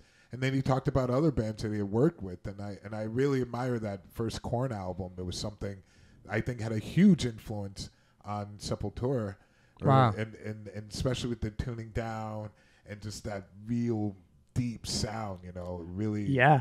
insane sound. But um, and also Ross played me some stuff that Corey had done.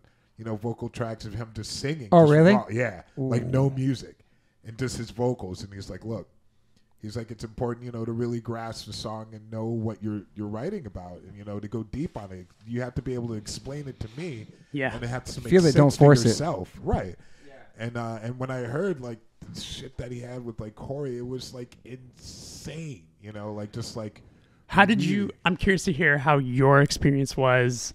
Were you comfortable in the just Toby? So you know, like before you before before you track Yeah. a song with with Ross, like Yeah. he makes you be in a room with your entire band and Yeah. and read the lyrics line by line and explain what every Yeah. He single. told me that he did it to you. Okay, yeah, okay, okay. Oh yeah, Oh, yeah, yeah. yeah. It was it was So the whole band knows what It's- the song's it's about. it's the- Exactly. it's open therapy, the whole thing. wow, How did you? How, that's kind of cool. the first time it happened for you, uh, were you? Did you feel?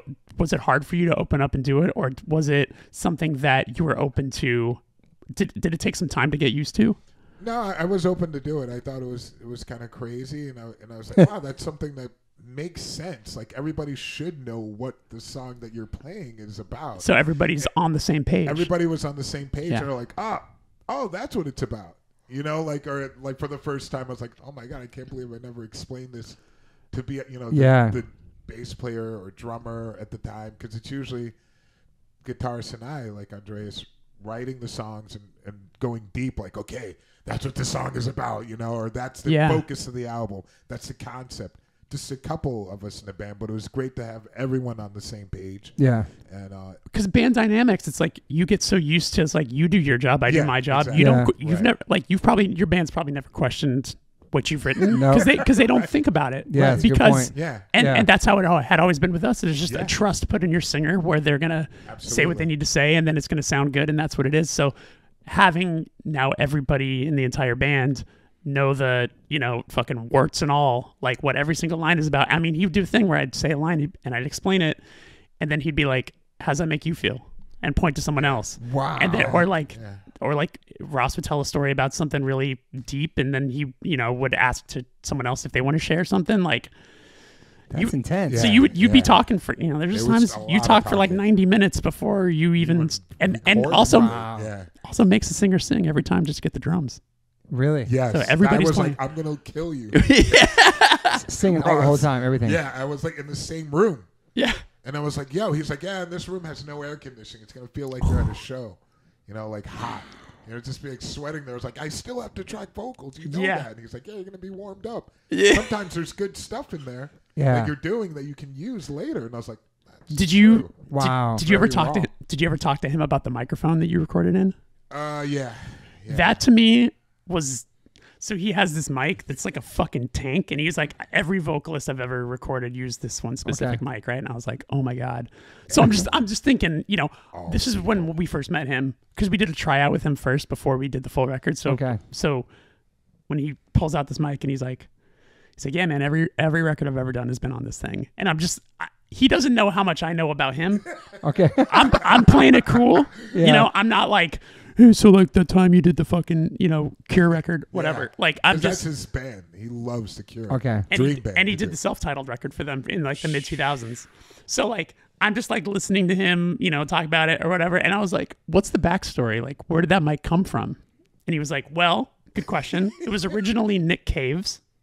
Wow. And I was like, "Wow, okay." And he goes, uh, "And the studio that I used to record out of, Indigo Ranch. Were you at Indigo Ranch?" I didn't get to go. I didn't there. get to go there either. Yeah, yeah. It was already done.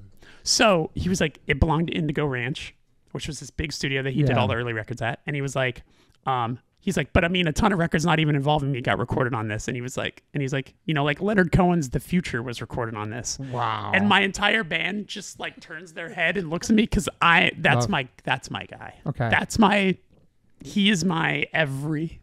Okay. Like I am, I live and die by the Cohen okay. musically and, and, and Leonard Cohen or film wise. Yeah, yeah, yeah. Joel and Ethan Coen, right? I live by the, I live by that shit. So when he just casually says, you know, like Leonard Cohen sang the future on this, I was just like, fuck my life. Are you kidding me right now? And I'm about to sour this microphone with my shit. but but the cool backstory, I was like, so how do you have it now if it belonged to the studio? He he says when Indigo Ranch was finally shutting down and they were selling off all of their equipment, it was right when he got the Cure record.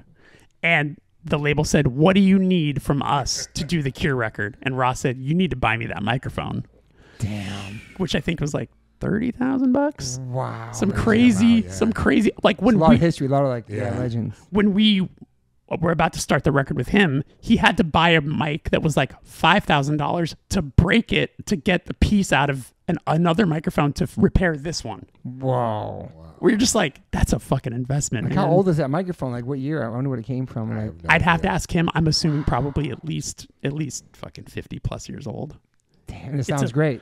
It sounds incredible. It's not like a Shure I get some other kind of. No, no. Yeah. It's a. I have a photo of it deep in my phone. I'll, I'll, I'll show it to you. It's like a fucking tank, man. I think the funnest thing, like from recording with him, like the out of nowhere, like sitting there, because his place was right on Venice Beach, like literally, like boardwalk. Oh, you and- told me that. Yeah, yeah, yeah. beach. Yeah.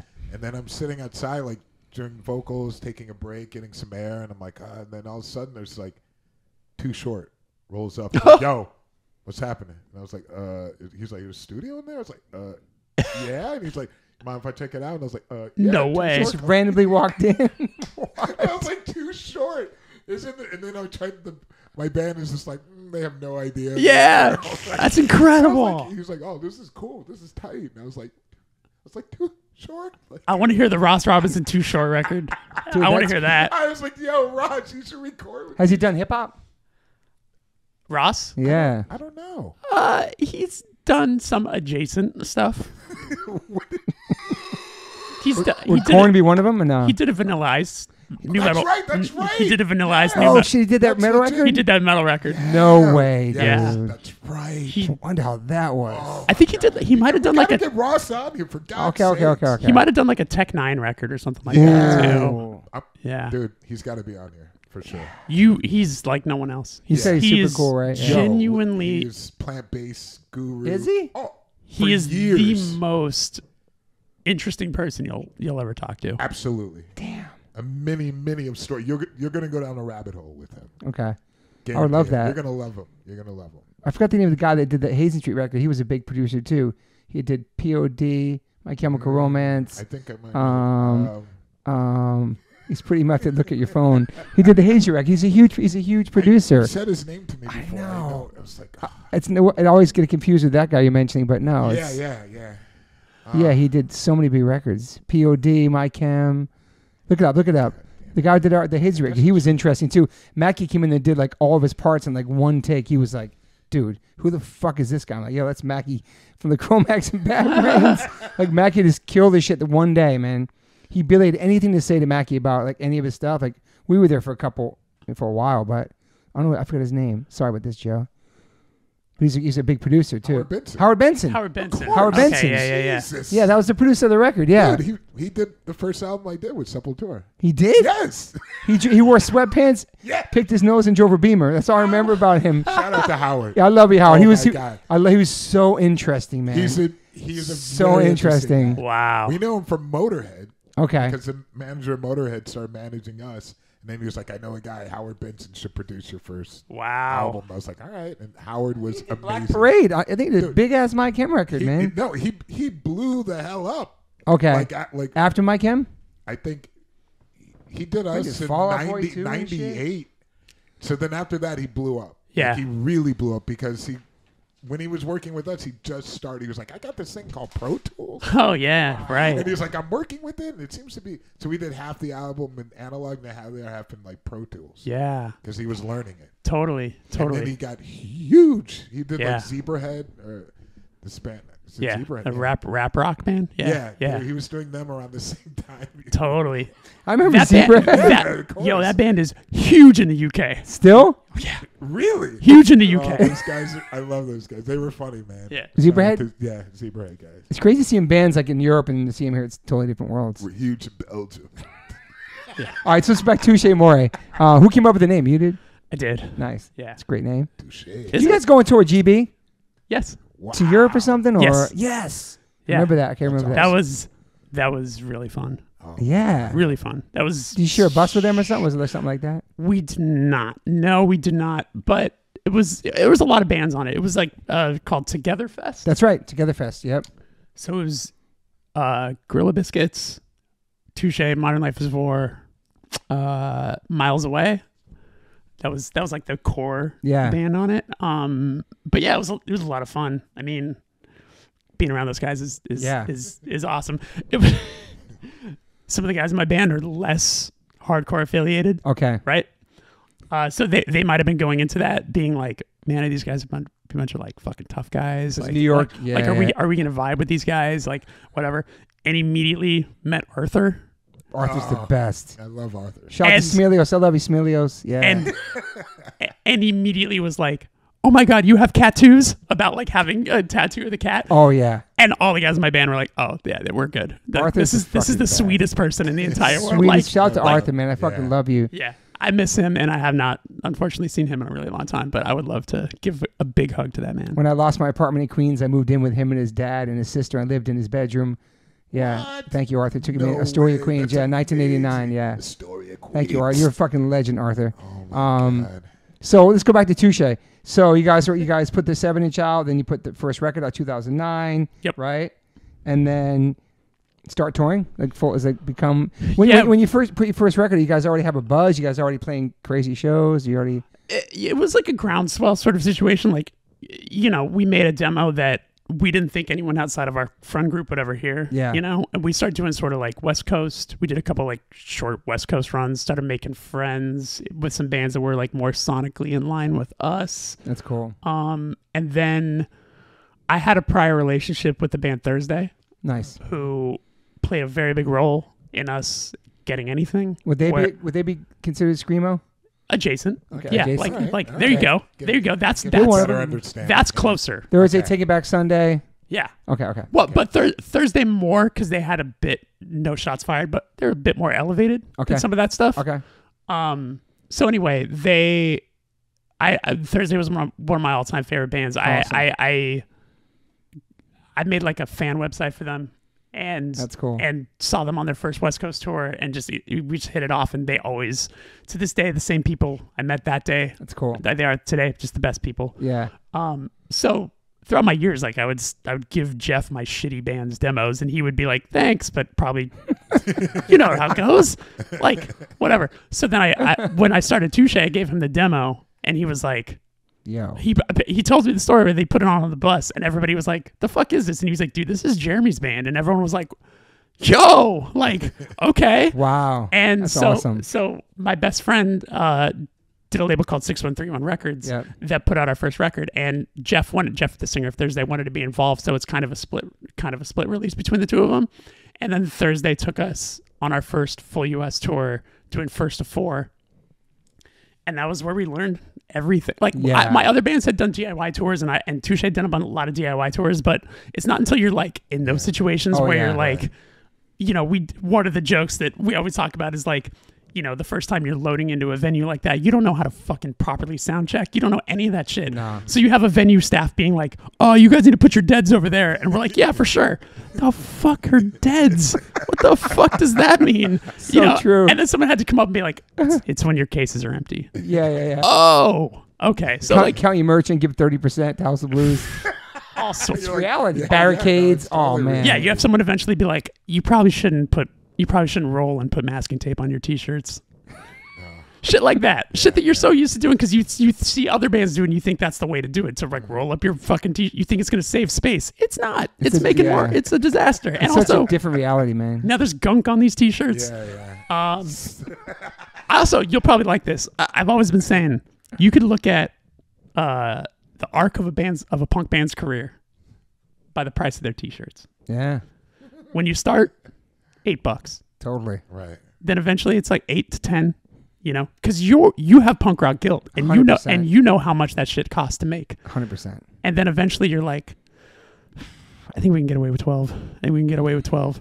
And then you start doing it at 12, and then you're like, fuck, dealing with singles, what a pain in the ass. It helps for the tip jar, Yeah. but dealing with singles is a pain in the ass. yeah. And then, you know, it's a couple years in, you're, you're starting to open up bigger tours, and you're like, everyone else is selling their shirts for 20. Yeah. I guess we could do 15. Let's do Then you- 15. Then you kind of get. You can't under, you can't undersell the band can't the price. undersell it, Yeah. Because because then you're like, but then you're like, you know, I think we can still do 15. I, you know, we're opening, like no one wants to spend a lot of money. We'll do 15. Everyone else is 20. We'll do 15. That'll be cool. and and then you're dealing with a lot of fives, and it's annoying as hell. And then eventually, you're now been a band for like 10 plus years, and you're like, I think we can do 20. Let's do 20 dollar t-shirts, so right? true, dude. And then and then eventually where we are now, you know, price of things, everything is more It's expensive. 25 bucks, 30 bucks. It's, it's a pretty common T-shirt. thing. Right, right, right, right. Yeah. But do you know what the do you know what the phenomenon is this whole time? Your audience doesn't give a shit. they don't give a shit. You've created this idea. Yeah. Such That- such a great point, Yeah. man. You've created this idea that fucking, you know, you're going to get judged by trying to be a capitalist, all of this sort of stuff. But the entire time, your audience wants to support you They and do. give you give you $15. They do. They're not going to ask how And- much and this print honestly, costs. The bands deserve it. Yeah. It's Maybe the- in the Bay. Maybe if you play Gilman, they might ask about how much your shirt costs. Yeah, yeah, yeah. yeah. But, but otherwise, your people just want to support you. It is so true. Like, like three months ago, I did a drop. I sold a, a grip of sweatshirts, Mm-hmm. and my price was very 90s, Mm-hmm. and there was barely any profit. Right. And my wife and my band, I was telling them about. it, They're like, dude. So I started looking at other hardcore bands online, what they're selling their hoodies for. Yeah. It was like twenty five dollars more or something. Yeah. And I just totally played myself Yeah. because of that exact thing you just broke down right there. I'm like, I'm living in like the past with, with Right. prices and stuff. You know what I mean? I did that. Then I just released more and I, and I bumped the prices up to what other people were doing, it. and nobody said shit. Right. That's a great point. But Punk my whole life, yeah. Punk rock, punk rock guilt. No. Punk rock guilt is not far off from Christian guilt. I swear to God, it's the same shit. It's the same. It's like the same, like if you were ever a Christian and then you became an atheist. When you say out loud, "I don't fucking believe in God," there's a part in your head that goes, "Ooh." you know, like, like did did, you hear did you hear that? Yeah, like, yeah, yeah. like, do I Lord, I, yeah, Lord, I was just kidding. yeah, exactly, That's exactly. it's true though. Yeah, punk rock, to- com- yeah. punk rock guilt gets fucking deep in you, And, man. and you don't have that because you're in a fucking metal band, I- and everybody spends crazy, but they don't care about that shit. and and that's something I grew to understand very quickly. You know, it's just like you're working very hard. You know, as a musician, as an Sacrificing artist, so many things. sacrificing so many things, and, and I so many musicians. That you know, it's like knowing your worth and not Knowing being, your worth. and not being afraid to to say that. Even you know, a person who's a painter or whatever, and they're like, ah, I'm gonna have it like not so expensive. I'm an art. But uh, Edit that out. that was weird. Go ahead. but uh, but it's important to really know your worth and to, and, and to say it, you know, Yeah. and be representative of that. It, and, and I think it's important for musicians to understand that it's it's not It's- something everyone's doing. yeah, it's Yeah. all. Your voice just went up a lot. Yeah, it just did. That's okay. It's, yeah, your voice is back. Thank you. Okay. Um, Yeah, yeah, that's a great point. Yeah. also like it's not necessarily our fault because we're also because it's a it's a it's an internal problem because when you start out touring you're getting paid 100 150 bucks 100 bucks a night whatever Facts, yeah. you're used to living small That's Yeah. true. and not and so it's it's uh it's built in and and uh I- I think it adds character Hundred percent. For sure. and I wouldn't 100%. tra- I wouldn't trade any of that shit Same. Neither would um, I. Same. but You value money you a lot better. for you know. sure. I agree. So when you, Absolutely. when your band all of a sudden the first time gets like a yo, you're gonna get a thousand bucks to play the show, you're just like, huh, Living large. What? Yeah. what? I'm a close to retirement. Yeah. I'm almost there. So yeah, I mean, all of those things start to mean more, you know. So, Yeah. anyway. But Anyway. um, so you guys, in between doing Touché, you're also doing Deadhead, yeah. Oh my God. Yeah. That's I haven't thought about that in correct? Like, like, Yeah, like in yeah. between records is like 2009 and 2010, you Deadhead, then 2011 you do uh, Touché Amore, then you go back to Touché Amore, then you go back to yeah, Yeah, Deadhead. Deadhead Wounds. was Deadhead was mostly members of Touché, but we just switched instruments. Like I play guitar, bass Cool. player wow, sang, that's cool. Yeah. um, bass player sang. Uh, other guitar player was also a guitar player. Our buddy Alex, who like has recorded so much Touché stuff, like he did our first record. He does all of our pre-pro demos. He's our guy. He played drums.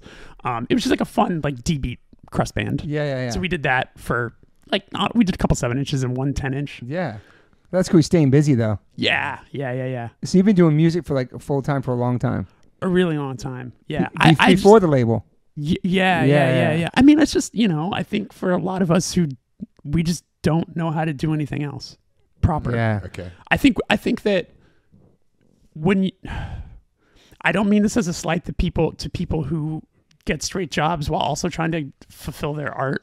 and But the I- dreams. Yeah, I, Yeah. I think, but I think there's something about people who don't know better, All right. and you just learn how to get by Just and do it. hustle. Yeah, man. And you and you Same. because you you just have to accept like look i might just literally be eating top ramen for the next month and a half but i'm Doing what you love. but but i get to go play shows with my friends yeah, Yeah. and whatever and and uh it's true. you know and so that just kind of continues to this day i mean it's like you know Touché certainly isn't going to fucking buy me a house anytime in my life but you know at the same time like i do the podcast i do Yeah, my label. I do yeah. I do I release poetry books. I do I Yeah. do shit like that that like is just extra income that it's not a lot, but it's it, it helps me keep the lights on. in the creative, in the creative. yeah. going. yeah, yeah, Yeah, cuz I mean Were there some big moments for Touché where you thought maybe the band was going to be a certain level or certain records know- that like really hit? you know can I be the worst and ask for a pee break? I chug, Yeah, yeah, I, yeah, chug, yeah, I, let's ch- go, yeah, I yeah, yeah. chugged the biggest Nah, coffee nah, I on do- my way here. I do that all the time. Okay. Oh, we're back from the the P break. We were talking to Jeremy about when um, Touché was huge on MTV. They, they were selling millions of records. They crossed over. They sold the their shirts for fifty dollars Lots of groupies. um, on the Warp Tour. Did you guys ever do Warp Tour? no, right. Warp No. Tour was over by then. Well, Oh, no, okay. no, no, no. I, I, there was a public kerfuffle uh, where I uh, I spoke my mind. oh wow, I didn't Oh, fucking know that. okay. That's not even in my notes. No, Let's bring it, that. it- So what it's, That's all right. it wasn't. Yeah, it's not Wikipedia worthy. I don't think, but it was a lesson learned for me where if I want to, everything's. You big. spoke out your your your opinions on that, that tour, I guess. It was yes. Okay, okay. It was a situation where I think I was being interviewed. It was for the LA Weekly, Oh, okay. and it was a learning lesson for me where mhm. everything you say. They're gonna probably find the part that's the most interesting and make that the headline. Yeah, yeah, yeah. Uh, so I did this interview, and towards the end, the, the gentleman was like, "Hey, do you think Touché will ever do Warp Tour?" And I said, "Fuck no." And oh shit. and he was Okay. like, "Why?" And I was like, "I had I known it was going to be the focus of the article, yeah, that's, I would have been a little more thoughtful with how Mm. I wanted to approach it. yeah. But because I thought." Oh, this interview's over. I'm just. I thought this was a throwaway question. and I'm just going to be a, a loudmouth about it. Yeah. I still feel very strongly about how I what I said, Yeah. but I would have, in the context, been a little more generous overall. I basically was just like, why would I want to spend my summer with like a bunch of like 99% of fucking misogynistic piece of shit bands? Whoa. And 99% is not a, is not a, it's not a fair figure. right. There's a lot of ska, there's a lot of ska bands. So- but, but, and at that shit went crazy.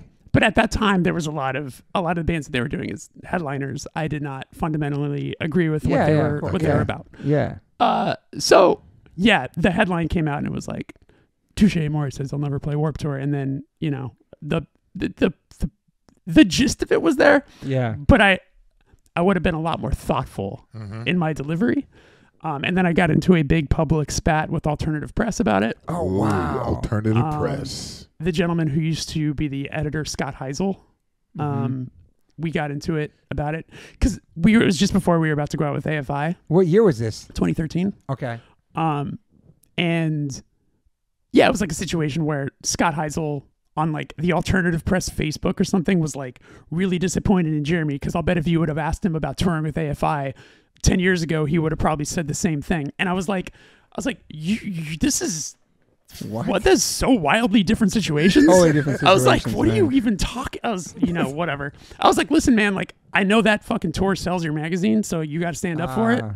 But, um, And that was I- like an online thing you had? Yeah. Wow. which you know, I'm fucking, I'm too old for any of that type of shit these days. But Mm-hmm. yeah. but it was it was a learning moment for me where I was like, you know what? Uh, be more thoughtful about who you're talking to. Yeah. And uh, I, I have a problem of oversharing.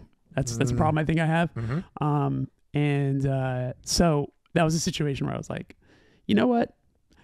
Were you doing this to prove a point? Were you doing this to seem impressive? Were you, tr- you know, like what was my motive for like wanting to go that hard? Right. for this thing that again I I I still never would, would have wanted to do Warp Tour, but at the same time, like I could have been more generous and thoughtful in my approach of Yeah. how I wanted to express my feelings, you know. Yeah, yeah, and also at the same time, I I think I even reiterated, I was like, "Yo, we have friends that are on Warp Tour like this year. Like, no disrespect to them, they they're grinding, they gotta Right. make their money, and they get, and they you know it's an opportunity. Um, yeah. Also, if I wanted to be a diva about it, you want me to play at 11 a.m. some days? You can fuck off. I'm not you- awake at 11. You kidding me right now? Yeah. You make a band play. You don't know what time you're gonna play every day, and all of a sudden they're just True. like, "Yo, you got to go play at 11:30 You're right now." checking at 10 a.m. every morning and see what time you play. You know that, right? I- yeah, I heard. Doesn't matter what that. band you are. I saw Blink That's play. insane. At, saw Blink play at noon once. Wow. Doesn't matter, man. Yeah, Right. it's very. Yeah. Wow. How do fans find out the same day? They yeah, said- they just got to be there Sure, early, be and there, then they just, they just put up a sign that says like what the running order is. Yeah. that shit Oh, is. so everybody has to be there super early. yeah, Yeah. Or you can miss the band that you want to see. Totally. yeah, just Wow. just hanging out on fucking blacktop concrete, and, Yeah. and Such a weird concept. and hoping that your fucking band you're gonna see is not conflicting with another band. Yeah, you, and then you play Oh, against each other too.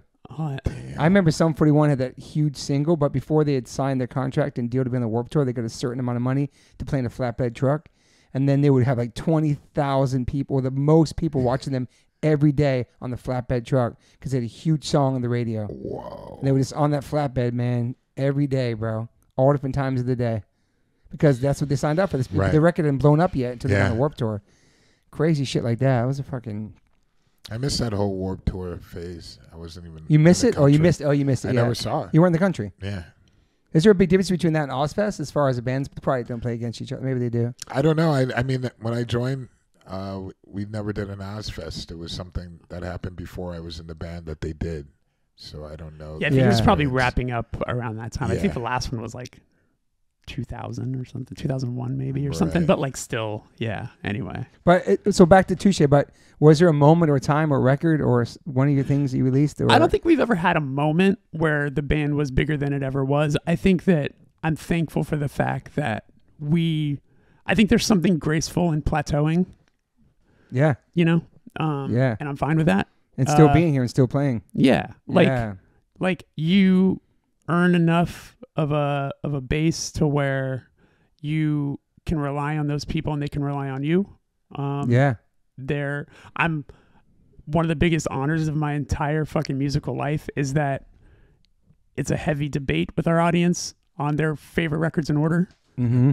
that's one of the that's i can't think of anything cooler in the entire world that there's people who think that our latest record is our best That's record awesome. and there's people who think our latest record is our second best our fourth best It's cool. it's a big debate the people that my least favorite record is a lot of people's favorite record that happens i think that's amazing yeah, um so you that's know interesting. that's a that's a huge hon- like I can't think of a cooler honor in the entire world. And then there's always always the people who are going to say the fucking demo is the best thing we ever did, you know, and that's Well, cool like the too. first album. yeah, that's cool Yeah. too. That's cool too.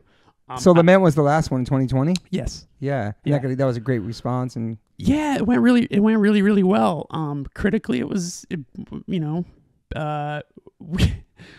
We're one of the few bands that I we are lucky to you know choose your words with if you want to call lucky, but Pitchfork covers us. So like yeah, So, like our third record, they gave us an 8.0. Our fourth record, they gave us an 8.1. And then our last record, was an 8.2. So in 18 more records, buddy, we're gonna have a fucking 10.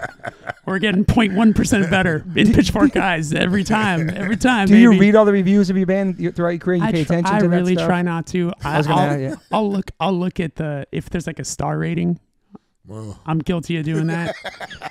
you go, you know the term pain, God. like pain diving. You go, right. yeah, you go looking to get your hurt, your feelings hurt. Pain diving, Yeah. bro. That's a great term. Yeah, you just So go. the stars. I remember. I remember like uh, alternative For press had all that too. stuff, all those The stuff back in ratings. the day, the ratings. I will say this: alternative press. I had this big pub- public spat with their head editor.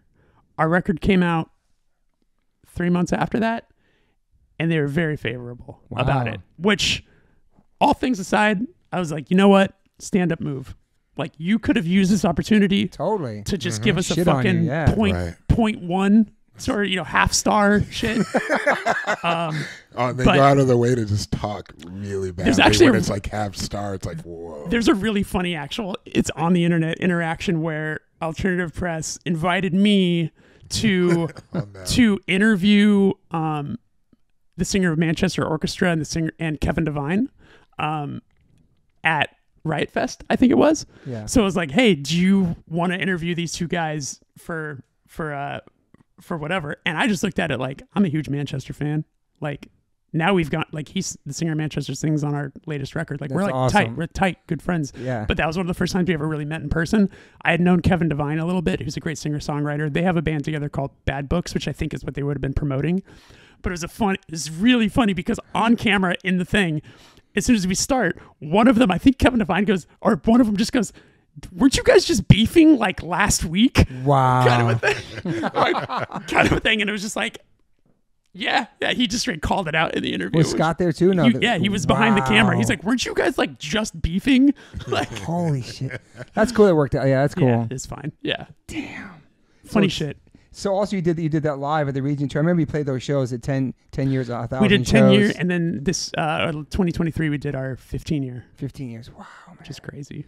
It's so crazy, man. Time Still flies, doing music, man. man. It's like I was I'm mad too because, like, okay, our band, like specifically my guitar player and I, were like extremely, we're archivists to the deepest degree. okay. Like if you go to touchemore.com, you can look at every show we've ever played, That's all sick. the That's bands we played with. Ian MacKaye style. That's I love Yeah, that. man. We, I update it every time we play a show. That's so cool. um our discography on there like is very like all the pressings backstory trivia the whole shit Awesome. it's very Damn. in depth right um and uh where am i going with this so our 10 year anniversary was also lined up to be our 1000th show One thousand show. it was 1000th show on our 10 year anniversary the same day That's cool. we lined it up to be the same day et cetera. the whole it's like that's just like how our brain works Yeah. and then fucking the shutdown happened. So our 15 year show is only like our 1200 show. I was like, we lost so many fucking, we lost so many shows before, because of that year. You know what I'm saying? Like we, we were on such a steady pace of playing like 200 plus shows a year. You bought the every flyers year. still from all the shows. Oh, so we put, so um, on the 10 year anniversary of our first record, we put out this huge deluxe book where we did, um, where we re-recorded the record because there's new members in the band and obviously you play faster you play Hmm. Yeah. tighter you it's uh, i had some bad grammar that i fixed. Some bad grammar that i fixed that was driving me crazy that i was like i'm gonna fix this shit.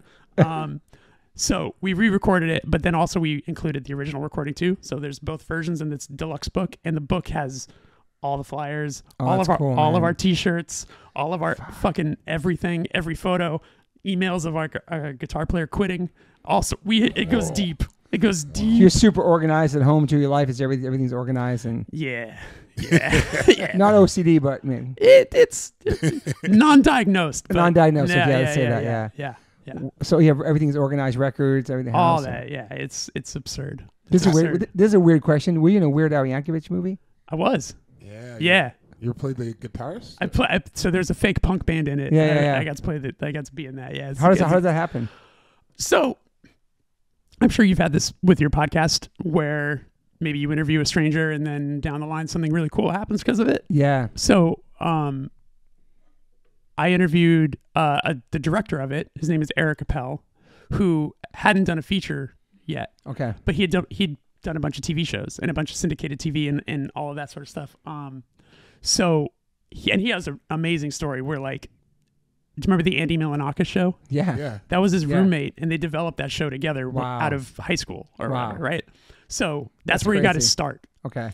And did you know he did episodic TV, like he did uh like in the in my interview with him, he like walks me through what it was like to uh direct an episode of The Office, which is really cool. And That's it's really cool. fun to hear. That's awesome. Um, so we got along great, and it was a really great interview. Um, and maybe timeline's a little fuzzy, but like within the next few months, I remember reading the article. Eric Appel set to direct this Weird Al Yankovic biopic, and I was like, "Good for Eric. That's fucking sick." You know, That's I'm not gonna yeah. reach out to him because we're not. I don't know him that well. We, Yeah, he just was nice enough to come on my show. So I was like, "That's awesome. Good for Eric." And then it was within days of that announcement, he texted me saying, um, "Are you free on these two days? And is your head still shaved?" and I said, um, "Yes, I can be free, and yeah, my head is still shaved. Uh, uh, what's up?" And he was like, "Well, there's going to be a scene in this film where Weird Al tries out for a punk band, Oh man. and they make fun of him and don't let him in, and then then he goes and then he goes and you see the band performing live, and the crowd." boos them and hates them and then weird al goes up and cr- kills it like a very like t- typical like because the movie's like a riff on making fun of biopics basically I, don't Yeah. know, I don't know if you've seen it but it's it's no, like it's, it it's satirizing biopics, Okay. right? Um, so anyway, uh, he's like, yeah, I already. He's like, the other two guys are known comedians. It's Jonah Ray and Johnny Pemberton. He's like, but Weird Al asked me specifically if I know anybody who actually like looks like they play in a punk band, and I was like. I was like, I'm fucking That's in. so cool. It was amazing. Everyone was so nice. Like I got to meet a lot of really cool people. Weird Al was the coolest person in the entire world. Really stressful situation though, because I'm a fucking Boy Scout where leading up to it, uh, I was like, so what are we playing? Like, are, are we playing to a backing track? Yeah. Like, Right. like are, we lip, are we lip syncing? Are Yeah. we making Yeah. whatever? And the, and Eric was like, oh, we'll figure it out on the day. It's like what? no. And so uh, Johnny and Jonah happen to also be musicians. Okay. So, um, and we don't know each other, but we have a we're a, a huge Venn diagrams. Like Johnny Pemberton was good friends with Riley Gale of Okay. Power Trip, Okay. and so we I never met Johnny, but I knew we had that in common. Yeah. Uh, Jonah Ray has, I mean, he's a ton of mutual friends, like all It's a very punk, punk bands Yeah, and whatever yeah. else. Like he plays in a in a Weird Al cover band, where where they do where they do the I think it's like I think they do the, um, the not, uh, satirized versions like that like the actual Weird Al songs, but he does them like punk That's cool. whatever. And That's he cool. and he and the people who play in that band I know. So anyway, so we get into text chain and I was like, "What are we doing?" So I start fucking writing riffs and shit because I'm like, I'm the guitar player in the band. I'm not the singer in, Yeah, in yeah. this thing. So I'm I'm like writing riffs and sending them, and we're like, "Yeah, this is cool. Yeah, this will fucking work. Whatever." so we show up on the day, and Weird Al already knows Jonah and Johnny because of comedy. He doesn't know me, but we walk Yeah. up and he's like, Jonah, uh, Johnny, so nice to meet you. He's like, Jeremy, it's so nice to meet you. He Gives me a huge hug. He's just the nicest person. Sick. And he was, and then he goes, "Let me teach you the song." And I instantly panic because Right. I, as mentioned in the beginning of this podcast, Yeah, power. I know power chords. yeah. This man is a musical genius. I'm Yeah. like, is he about to try to make me learn some shit that I'm not qualified for? Yeah. And uh, so he he goes up to John to Johnny. He's like, "This is what you're gonna sing." And then he's like, "What key is that in?" Then he looks at me and he goes, "Guitar player, what key is that?" And I just smiled. That was my reaction. I was just like, I just smiled. I was like, like I'm in a punk band. and then I, and then I slowly reached for the instrument as if I was gonna figure it out, knowing that someone else would figure it out before I get to the. I'm like, oh, let me. uh Anyway, um, it was so. Then he teaches us this. He teaches us what we're gonna play. Um, it ended up just being like three chords. It was Okay. it was super easy, thankfully. Um, and he's like, "All right, let's run it. We're in a it's in a venue. We're in a room full of extras and camera crew and stuff. And we're like, all right, let's run the song Damn. it changes every single time because obviously we've never played music together. We're just like trying this shit out. We're like, uh, and um, also the guitar they gave me. All respect to the prop house, Yeah. the strings had never, never been changed. Never been changed. Uh, these are like the. Th- this feels like the guitar I had in like seventh grade. Yeah, where I was yeah. like, it's also they probably got it like a flea market. dude, dude. This thing was, this thing had never been cleaned. no- This will like, work. dude. Damn. This thing was used as a prop, not to be And played. Partridge Right, Family yeah, back yeah, in the yeah, day. totally. Partridge Family. all, they gave me they no tuner. I don't have a tuner. Damn. So I'm using like the guitar tuna app on my fucking Yeah, yeah. on my on my phone to tune this thing.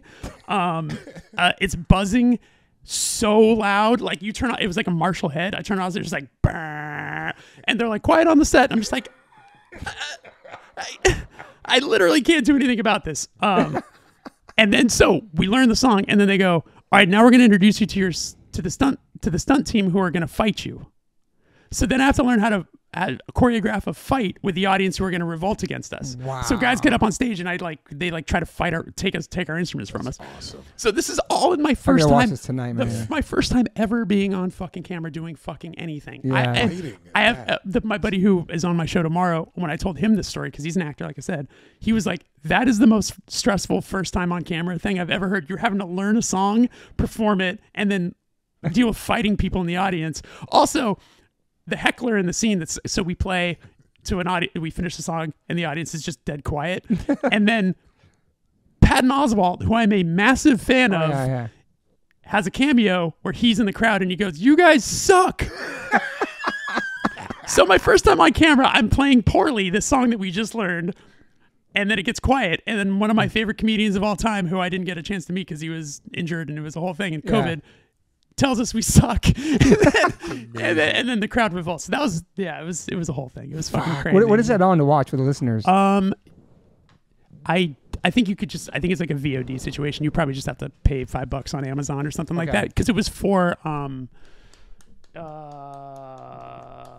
God, you can probably find it. some- we can I'm find it somewhere. Yeah. Definitely. Anyway, So Secret Voice is your imprint to Death Wish. Yes. And that was like 2012. Yes. Starting your label. I think that's cool because you grew up going to that record store and then working at a record store and like kind of be, being kind of behind the scenes at first before you really started doing music full time. And then you, it's awesome. I don't know. So yeah, and the backstory there is basically like I had a really close relationship with Death Wish, and it was one of those situations. You've, I'm sure, both of you have been this in this boat before, where you get on a label, you're friendly with a label, you want your friends who are in good bands to be on better labels, so you try, Yeah. so you pitch the label you're on bands. You know what I'm saying? Yep. So um, I was doing the thing where I kept being like, "Yo, you should sign this band. Yo, you should sign this band. You should sign this band." And they and they awesomely enough picked up a few of those bands that I That's cool. suggested, right? Yeah. And, and those did pretty well on the, on Death Wish. Yeah.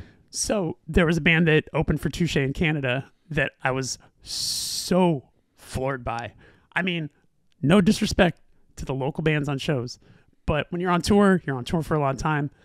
You might not check out the band that's playing first. It's true. It's very know? true. So we're still selling our own merch at the time or whatever. So I'm setting up the merch. I'm like getting. I think we were late. I'm setting up the merch table like in a hustle as this band takes the stage and is all you know merch is being sold in the live room. And within a minute of this band set, I was like, "What is this? This is the coolest band I've ever heard in my life." Yeah. Uh, they're called Single Mothers, and a they cool they sound like if if you're familiar with like the Hold Steady or any, a band like that, like Okay. it's it's very elevated, aggressive, post hardcore type stuff. It's very singular, very of itself, and I also really like the Hold Steady. So I watched the set and I'm floored, and the singer comes off stage, and I was like.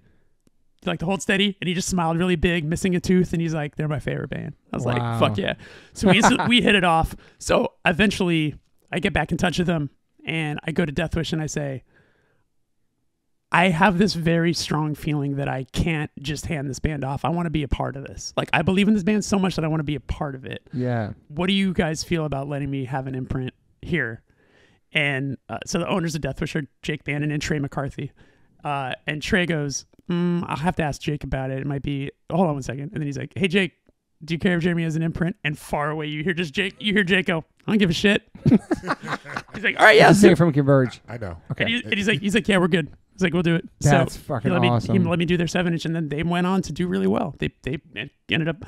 I take some labels. I think are offended by. I take pride in so many of the bands on my label going on to a label after that. Like Yeah. I try to be the stepping. I'm happy to be a stepping stone Yeah. like so happy. Like I put out records for Drug Church. I put out records for uh, his band Gouge Away, who's now uh, they've been on Death Wish. Yeah. Uh, I put out Soul Glow, who are now on Epitaph. Yeah. I put out, you know, it's like there's all these names that I really fucking believe in, and I just want to, I just want to help. I just want to be the uh, whatever I can do. Yeah. Putting my name on something to like get out there more. It's like I'll, we'll put out a record and then we take them on tour, and then usually it's on to the next thing for them, Yeah. which I just love to watch happen. That's cool, man. Yeah. So that's mm. that's kind of what the the label does. You know, it's like I just want to Yeah.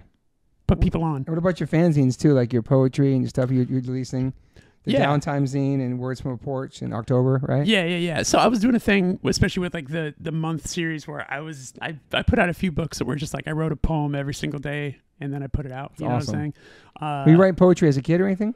I was interested in it. Yeah. I, did, I I excelled in English. I was horrible in math. Okay. One of those kind of kids. I don't know if you guys are the same way. Yeah, I fucking I was so bad at math. If you hated math so much, man. if you put a handgun on this table and then a, and, and a and a long division question, that was take- my worst subject, math. Yeah. yeah, yeah, I'm I'm not living through that situation.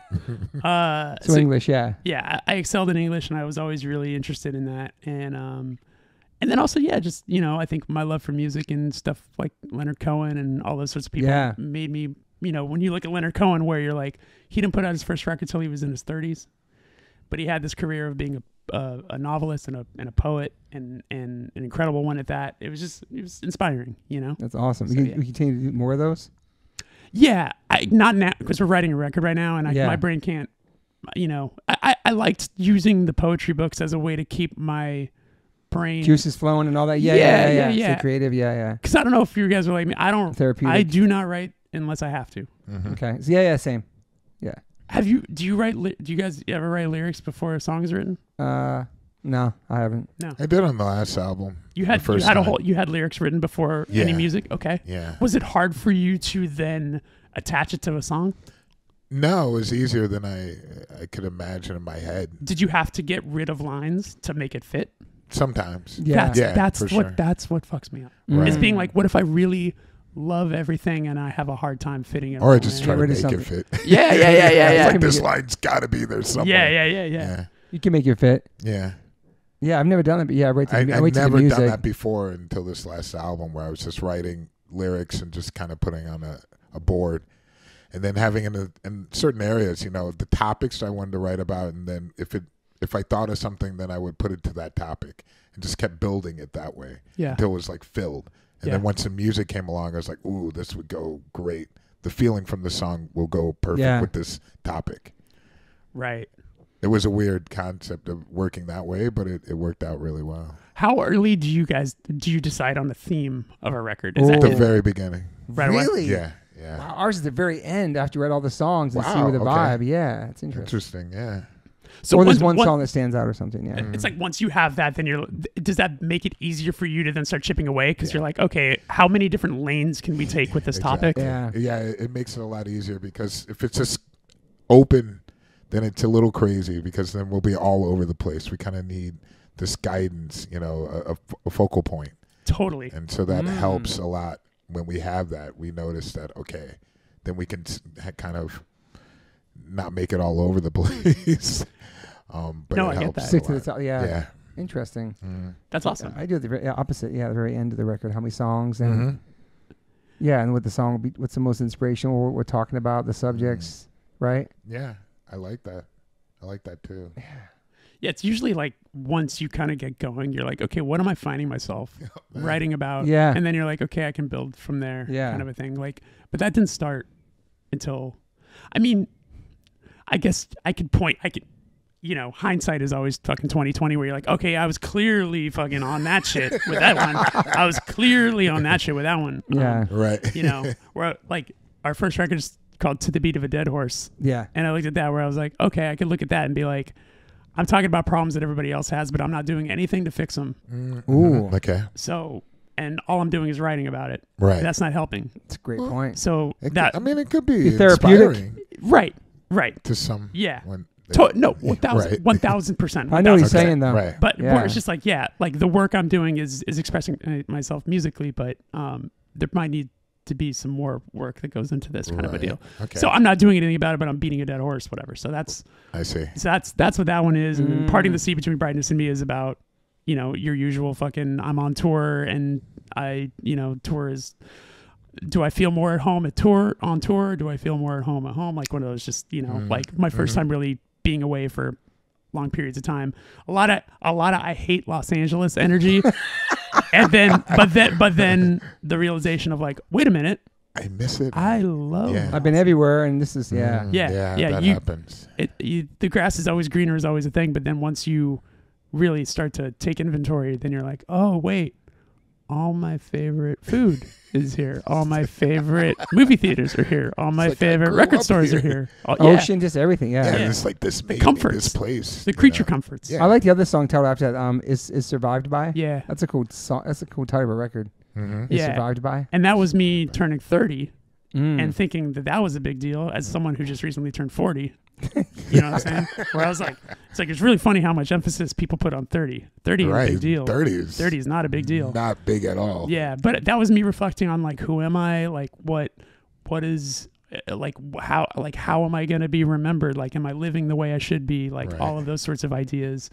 Um and then stage four. And Stage this, four. and this all came at the end of once the music was done. You're saying, or yeah, so usually we'll I tr- we try to write a lot of music and then I start chipping away at it. I don't like writing lyrics until I have probably like five songs musically in front of Sma- me. Yeah, same. Okay. So I so I can kind of listen to the different energies and be like, this song kind of feels like it could be more of a this song. This song kind of Mhm. feels like it could be more of a this song. mm-hmm. um, and that's where I started chipping away. But I think I had the 30 theme for for Survive by because I was like, this feels like a milestone and blah Yeah, blah blah for blah. blah. sure. I was also had hor- horrible horrible writer's block at that record. Okay. I, that was that, that's when I mentioned earlier about fans having favorites and whatever. Yeah. that's the record that is my least favorite. But this Friday, shout out, fucking remix remaster version come out this Friday. I know. up? I saw that. I Uh, saw that. Yeah. Yeah, yeah, yeah. So that I mean, but it's funny. All the things I have wrong with the, with that record, one of the, one of them few things was how it ended up sounding, and now it's now it sounds fucking. Now that it's remixed and remastered, I'm like, it's like hearing the record for the first So, time again in a way that's exciting. this is really interesting because there's things that you like that you're listening to, you're proving Yes. when it's out, yes. and you're like, okay, the mix is good. It sounds great. Uh, Is it is it weird hearing it like a year later or something like, oh man, what was I Oh, thinking? dude. So I Does can. that happen to you? Yeah, I mean, We'll there's get into it. man. there's also there's also a situation How where does that happen? Like you're so certain in the moment. Like, okay, this is you might be this might be your moment of realization for you. We'll see. But a thing that i'm thinking of with that record in particular this is our first time going to like a big producer. Okay. so we were we were just so excited but also maybe so much trust put in the situation where just like oh like we're good Yes. this sounds fucking great like Yep. Yeah. like it is what it is and when you're also when you're in a fucking room in the mixing room and you're hearing shit back it's gonna sound incredible Sick. it's gonna sound so incredible Yeah, it's not compressed. It's all- Right. Right. So yeah. then when you start listening to mixes like in your car and stuff like that, maybe you maybe you're just afraid to speak up if you're noticing Mm. things because you're like, oh man, we're on a you know time is money. Like Yep. you know like this is more money than any record we've ever you know it was a uh, Death yeah. Wish record, but it was the most that they'd ever spent on a record at that point. So Yeah. we are like, fuck man, like we got to just turn this thing in. Like it, it sounds good, it sounds good, and then all of a sudden down the line, I was like, man, I really don't hear that bass drum Mm. shit like that where I was like, fuck. And then we try to fix it in mastering, but it's like it's too late at that Yeah. point. Too late, Yeah. So it was one of these things that just kind of always haunted me. Um, and then also I hear personally for myself yes. that I was not ready to record this record. I was writing lyrics still in the studio. I was unsure of you know all of those sorts of things, and and and I hear the clunkiness in myself Mm. all of these sorts of things and i learned to get over it and now again with the remix remastered version like i can hear i can take charm in it i can see it as charming as opposed to um, being ready but that set us to be like never again will we go into the studio without every fucking line written Yeah. and without also another thing that our band is on is every single member of of the band has to like every single part in every one of these songs wow. Which is a very hard task That's very hard. so we All have be on to the same page with it. all be on the same page with every single decision going forward. Is everything for for you, Morris, when you go in the studio? What do you mean? Written out, done. Before Usually before recording? be- before the record I'm Yeah. thinking about the the major label one, everything was always written in the studio or on tour.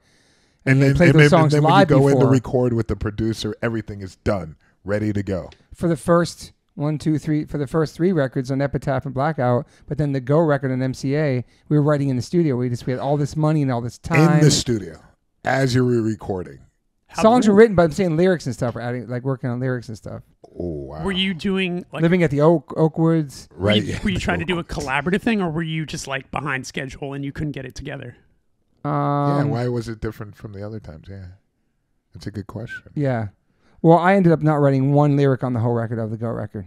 That's right. That's right. You told me that. That, that's was like, the record that's- that that's a record I would love to revive, remix, and remaster with Chad Gilbert producing, like you did. Would you like to to do lyrics over? Uh, not necessarily, but I was so I was almost checked out at the point where I've talked to this a hundred times in this podcast, but I didn't want to leave Epitaph Records. Me and Adam Blake were happy there. My brother really wanted to try and make a move, Mm-hmm. and this guy Hans Hadelt was trying to sign us from the early parts of our career. What's his name? Hans Hadelt. Okay. He ended up signing Sheer Terror to MCA Mm-hmm. when we didn't sign from Blackout. Long story short, he was there. We ended up doing the record with, with Matt Wallace, who produced the replacements in Faith No More. Todd Friend, our drummer, picked that dude. That was his dream Mm-hmm. producer. And it was a lot of time and money. I was moving to California with my wife. I see. My head wasn't there. I wasn't really psyched on the, the sounds of the songs. Matt Wallace did a great fucking job. Mm-hmm. It's my fault for not being there more and paying attention to the production, and the sound of it. But like I said, once I heard, I was like, dude, like tripling my vocals. Everything sounded so poppy and so overproduced and and like candy coated, and I was just so bummed on it. So bummed on it to this day. I don't regret know. it. I I, regret the fact that I about should have been more involved in it Right. because I didn't. I didn't end up not writing one thing on that record, man. So then when I wrote "Nothing to Prove" with Adam Blake and Chad, that that's my baby. That record Right. for me is my fucking my pride. Do you play any songs off of that record live? We do play a couple songs off that record live, and they sound perfect with all the other stuff. They, they fit Yeah, into yeah, the yeah, set. yeah, yeah, yeah. They fit into the our our. Right. But yeah, this. But some. I still get really cringed out even playing any of those songs. And there's there's some there's a bunch of songs on the record that people love. Justice sat here and told me that was his gateway to H2O. Right, My yeah. friend Luis loves it. Like all my different friends who I never expect like that record they love or that was their first time hearing it. So I have to say okay, just like there's some records we don't love, other people connected. That's when they found you. Of you. course. Yeah. But for me, that's a really bad representation of, of what H2O means to me and what we're supposed Mm-hmm. to sound like. But if you see us live, we play Role Model or Memory Lane, which is really big in South America and Europe and everywhere else. The reaction's crazy. It's just Right. like, but yeah, I mean, it's just damn. If I could redo that, I would redo it with Chad Gilbert. You know, I, the guy- you know, I love Chad's producing, and I don't know. I would like to remix it and release it. I've talked about that many times, but the fact he's doing it's kind of cool. Okay. And then hear the way you really wanted to sound it, like yeah. just like I don't know, take off the layers, and I don't Yeah, know. no. I- I and I don't want Matt Wallace to think I'm dissing him because he's an Right. incredible producer. He did his job. Yes. Yes. I didn't do my job. right. Do you know what I mean? So I have to live with that. But It's a learning lesson. though. yeah, and people were like, when that came out, sellouts, all this fucking shit. Now people love that record. It was a time. It was message boards, all that. But now, throughout the years, people love boards. people love that record. But back then, it was Message so cool to hate a boards. record or judge it by was on Fat or Epitaph. Yeah. Like you had, to be- you know, it doesn't matter what labels. Like, yeah, it was a different time, dude.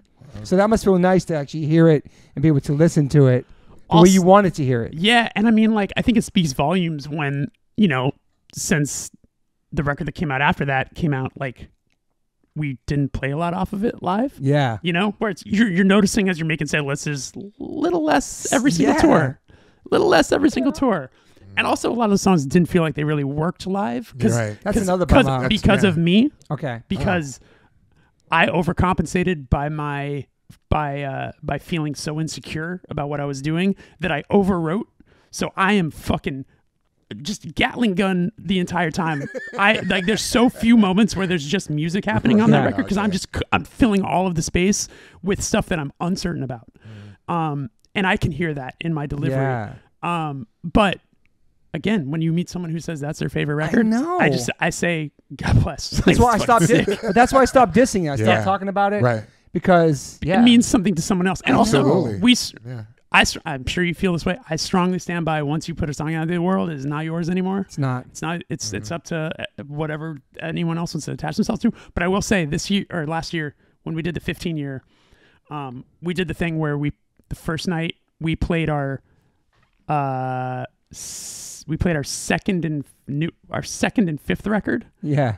Uh, so we were like the fan favorite with the new record, you know, and we'll see how that goes. Hopefully, people just don't leave after we play the fan favorite.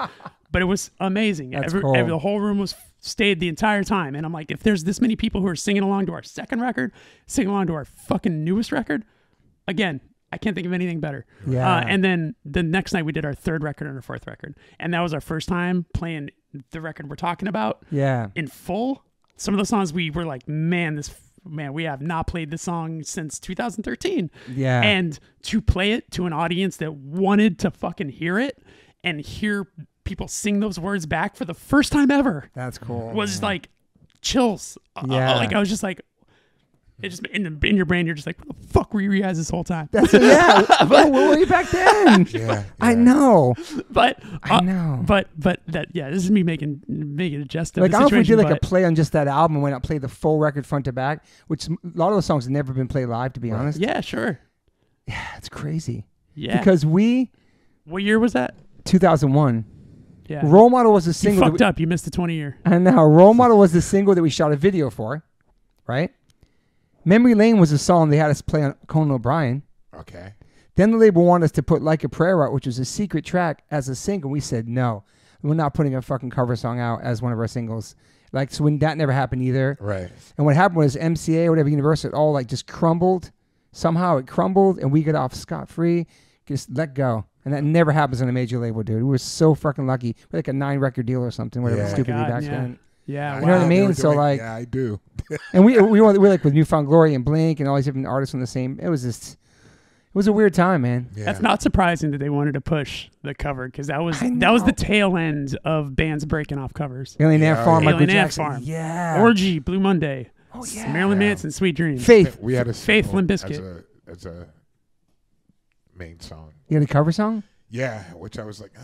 Which, Which one- album? What did, what did you do? We did a Ministry cover. What song? Uh, what's that? Just one. Just one fix. Yeah, just one fix. What album? Uh, it was God. Was it It's like three. Like, what album? was that Eleven albums I- ago. was that it's like called the Kairos album, and Okay. uh, and that was like with a different drummer, and yeah, it was like in the middle phase. It was like a weird timing, but it ended up kind of working out well. I mean, we don't ever do that song live, really. Maybe like, yeah, in a blue once in a blue moon. yeah? But uh, yeah, it was weird. I was thinking like, I don't know if we should have that as a, single, like a cover song, you know. Yeah. But, but it was cool. Yeah. Um, I, I I do want to actually remix a record now. Thinking about that, man. Cause I, I it's- definitely know. do too. I was thinking about it today before coming here, and I was like, man, I, I, I- I just just curious how you guys felt about like if there was ever anything like that. And it's good to hear. Like, Would you ever re? It's kind of weird. Like, no, I mean, we you know what I'm talking about? Uh, yeah, we okay, I'm not gonna say it. yeah. what, I mean, I was saying we we, We re- recorded. we I re-recorded was our gonna first ask you record. about that. Yeah, Yeah. That's yeah. cool. Yeah, beca- but We're, we're fans like, what the hell you doing? It was fine the way it was. there's always going to be that, Right. which I'm fine with. Okay. And I I, like to do say, that too. guess what? You can still listen to that version Yeah. Right. and have fun with it. Yeah. That's fine. And I I think there's a lot of charm in it. How many years later did you re-record? Ten years. Wow. So it was for the 10 year anniversary. I anniversary. gotta do that. Sh- So, and the reason also was we couldn't remix and remaster it because it was recorded by our friend who never thought anyone outside of our friend group would ever hear it. So as soon as he was done, he was like, delete tracks. Like, wow, dude. you know what I'm saying? Like he didn't. Holy God. shit. So we literally have no possibility of ever remixing and remix. So we were like, well, Oh God, guess that's what? This gives us, you know, we lit, and then when when we re- re-recorded it, we did it in a day and a half. Damn. It was like we know these songs. Yeah. they're they're so primitive. You know what I'm saying? Yeah. Like like compared to who we be, who we became. You know what I'm saying? It's just like I know what you were gonna ask. I think. Let me hear what you're gonna ask. I was gonna say, would you ever re-record Sepultura records you didn't sing on? no. Okay, that was just my question. But we Yeah. did re-record some songs that just happened to come out because of the pandemic, and we were doing it in a natural way where it's like that's right. And so that was kind of cool. But in a way, like going in the studio and doing hooking everything up, I don't think so. No, Yeah. did I, I don't know if I know. Did Max write all the lyrics no, that stuff? Okay, so I was gonna say. I mean, like that. That's where at least there's some wiggle room. You know, Right, if, if, Totally. if, if that was an idea, Mhm. where it's like it's it's not like you re-recording his work. You know, that's that's where it gets a little a because little it, it's clunky. a, it becomes very interesting, you know, especially coming from a, a fan's perspective, which I was before I got in the Totally. band. So I didn't know how things were like going down or who was writing what. But I realized, you know, a lot of bands would make a band, you know, especially hardcore and coming from that punk scene, is that everyone write, playing together. yes. you know, in a studio or in a in, in your space, you know, and just creating things together. and that was something that was very special about the band. You know, before I joined, that everyone was writing together, Right. like in a space. So that's what made it very special. Um, instead of just one person writing the whole album, Right. writing all the lyrics, you know, it was definitely a collaborative effort. totally. Yeah. Totally. I love that. Yeah, me too. My brother did some lyrics too uh, with H2O too as well. That's cool. Yeah. Yeah, I mean it's always a switch off with with us as well. Um, as years went on, I, on the last album, I was just writing everything, but it was like I definitely love to hear the input of ideas from other Yeah. other people in the band. It's open to that, and I love that. You know, to put that in with the lyrics. Yeah. yeah. Yeah. Okay, I have a couple more questions, but I have to go pee too. So we have to take one more pee oh break. my Okay. good. This is awesome. Are you chilling? You good? Yeah. Like, do you um? We're back in the podcast. Hi guys. This was, it was our third. What's up? That was our third piss break. So this year you have Outbreak Festival in Manchester in June, correct? Yes. And then March 15th and 16th you're going to be in Australia. That's soon. Yeah. Going I love Australia. We just booked Love our it. flights 21 hours. I'm Oh, real, you- you real did- sad. 21 hours. Wow. Yeah. How are you with traveling? Horrible. Me too, man. I can't sleep on planes. Me either, man. Me either. I just go, I, all d- right. I don't. You can't. You can't no, either. No. I dread the travel, man. It's brutal, man. Even just going through the airport and stuff. I don't Yeah, know. me It's too. hard for me to get excited about a an overseas tour Yep. because all I'm thinking about is, well, I'm gonna watch nine movies in a row. Yep. I'm gonna feel like absolute dog shit. Because I'm not going to be able to sleep in the flight. I'm not gonna, can't sleep on a flight, and I just look at my other band members who are just snoozing away, and I'm just so fucking resentful, Yeah, I'm so jealous. so resentful. my Um, band's popping pills, going to sleep. I'm like wide awake. or like sleep. I would never do that shit, dude. I'd be Yeah. so scared to even do anything like I, t- that. I took uh I, t- I took um what's one of the heavy ones uh Um, what, um not um, Lunesta but I don't know. I know the name. I know. one I know it's right there the Anyway, ones that like um, what's it called? It's bad. People get addicted to them. It's like I uh, was just legit. thinking of like a hot toddy or something. Oh, Like no, a- no, no, no, no. What's a hot toddy? I'm fucking straight edge, bro. What's a hot toddy? Is that a drink? Ambien Ambien. Ambien. Oh my That's god. no joke, man. Yeah, People go I- to rehab for that. I took it I took For an, real. I took an Ambien because I was like I need to fucking sleep you know whatever and it just made me nauseous I was like now this is so much worse now So you never fell asleep I on never it. fell asleep I just felt I just felt terrible Not even like gummies or something. I don't. He's straight edge, bro. Oh, sorry. Sorry. Don't don't disrespect. So, right, I'm me- sorry. melatonin does not work for me Okay. It just it just gives me a headache. Mm-hmm. Um, Advil PM can work for me, but you don't want to take that every day because it's bad for your liver and shit. Yeah. you know. sure. Nyquil. Nyquil. Fucking straight edge, bro. They Oh, yeah, that's Z- alcohol in it. ZzzQuil, but ZzzQuil, Yeah, yeah, yeah. okay. ZzzQuil is like the non-alcoholic version of it, but it's What's a toddy? yeah. Hot toddy is like What an is- alcoholic drink. No, I with- don't fuck with that, bro. Okay. Um, I'm sorry. I um, totally. Yeah. uh, Do you not? Do you? If you're sick, do you not Sorry. take? Do you not take Nyquil? No, no, he he can't. Man, I was a little kid. I Probably. mean, When I was little- thinking like it's not. There's alcohol in it. Yeah. Yeah, but that's since I was a kid. Probably took it. Yeah, I'm a weirdo, bro. Yeah. Well, I was gonna say like yeah. I, I still consider myself straight edge, but like, Yeah, but dude. like I'm not. I'm Right. not taking Nyquil to like get fucked up. I'm taking. Of Nyquil. course you're not. Yeah, no, yeah, no, Right. no, yeah, no, yeah. Yeah, that's what I I, take was I, I take too, I take? Advil and Tylenol if I have to. Yeah. Do you want to hear the Mm-hmm. funniest thing my my my late mom ever said to me? Yes. Um, Rest in peace to your mom. I appreciate that. Uh, so she made us go to church and shit, right? Mhm. Same. I, I can. You can relate to this. it's Oh yeah, definitely- my mom. So once I got once I became straight edge, like, and I'd have to take communion, they always had like the on the side on the side of the of the of the tray there was like juice, Yeah. and then there you know whatever. Mhm. There's the blood So she so she noticed that I took the juice, and she sat down. And the funniest thing my mom ever said to me, very angrily, she goes, "You don't have to be straight edge for Jesus." That's a, that's incredible. I Oh fucking That's incredible I fucking quote. I howled out loud in church. I was like, Oh that's the best. I was like, I was like, it's it's such a funny thing to be mad at your son for. Like, Oh. like you're mad. Like, like we uh, this is shit is all make believe. Whether Right. it has Oh. alcohol or not, it's all oh make believe. God. So Ian's just- my god. like, Man, we never had at our church like alcohol. Like Oh, I did too. as a kid. never. Yeah. It, was, always grape juice. it was wine. It was like yeah. here's Wine the body of Christ. shit. Ours was like What's the body of Christ? Is it rice cake or something? It's like rice uh, something. At ours, it was like a, a little wafer. Yeah, yeah. wafer. Yeah, a wafer. Yeah. It was a wafer. God, I hate it. You remember my, my mom made me go to church. We didn't have hated wafers, but for some reason there was like the blood of Christ was going on, but it was always like juice. So I was like, oh, I can't wait to drink the blood of Christ. straight edge for Jesus. Welch's. that Love that. shit. Yeah. Welch's. Well, I was That's like, a t-shirt, oh, man. Blood of Tattoo. Christ coming up. Straight. edge. So you've been straight your whole life. Yeah, Never tried nothing. never tried. Just like me. That's Wow, amazing, Yeah. that is bro. amazing. Yeah. Not even a forty ounce. Like Yeah. a Nah, friend. bro, nothing. Here's No, I'm not talking about you. I'm, he said he didn't do it. here, here's here's where you and I might have a fun fundamental disagreement. Okay. You Oh, here we go.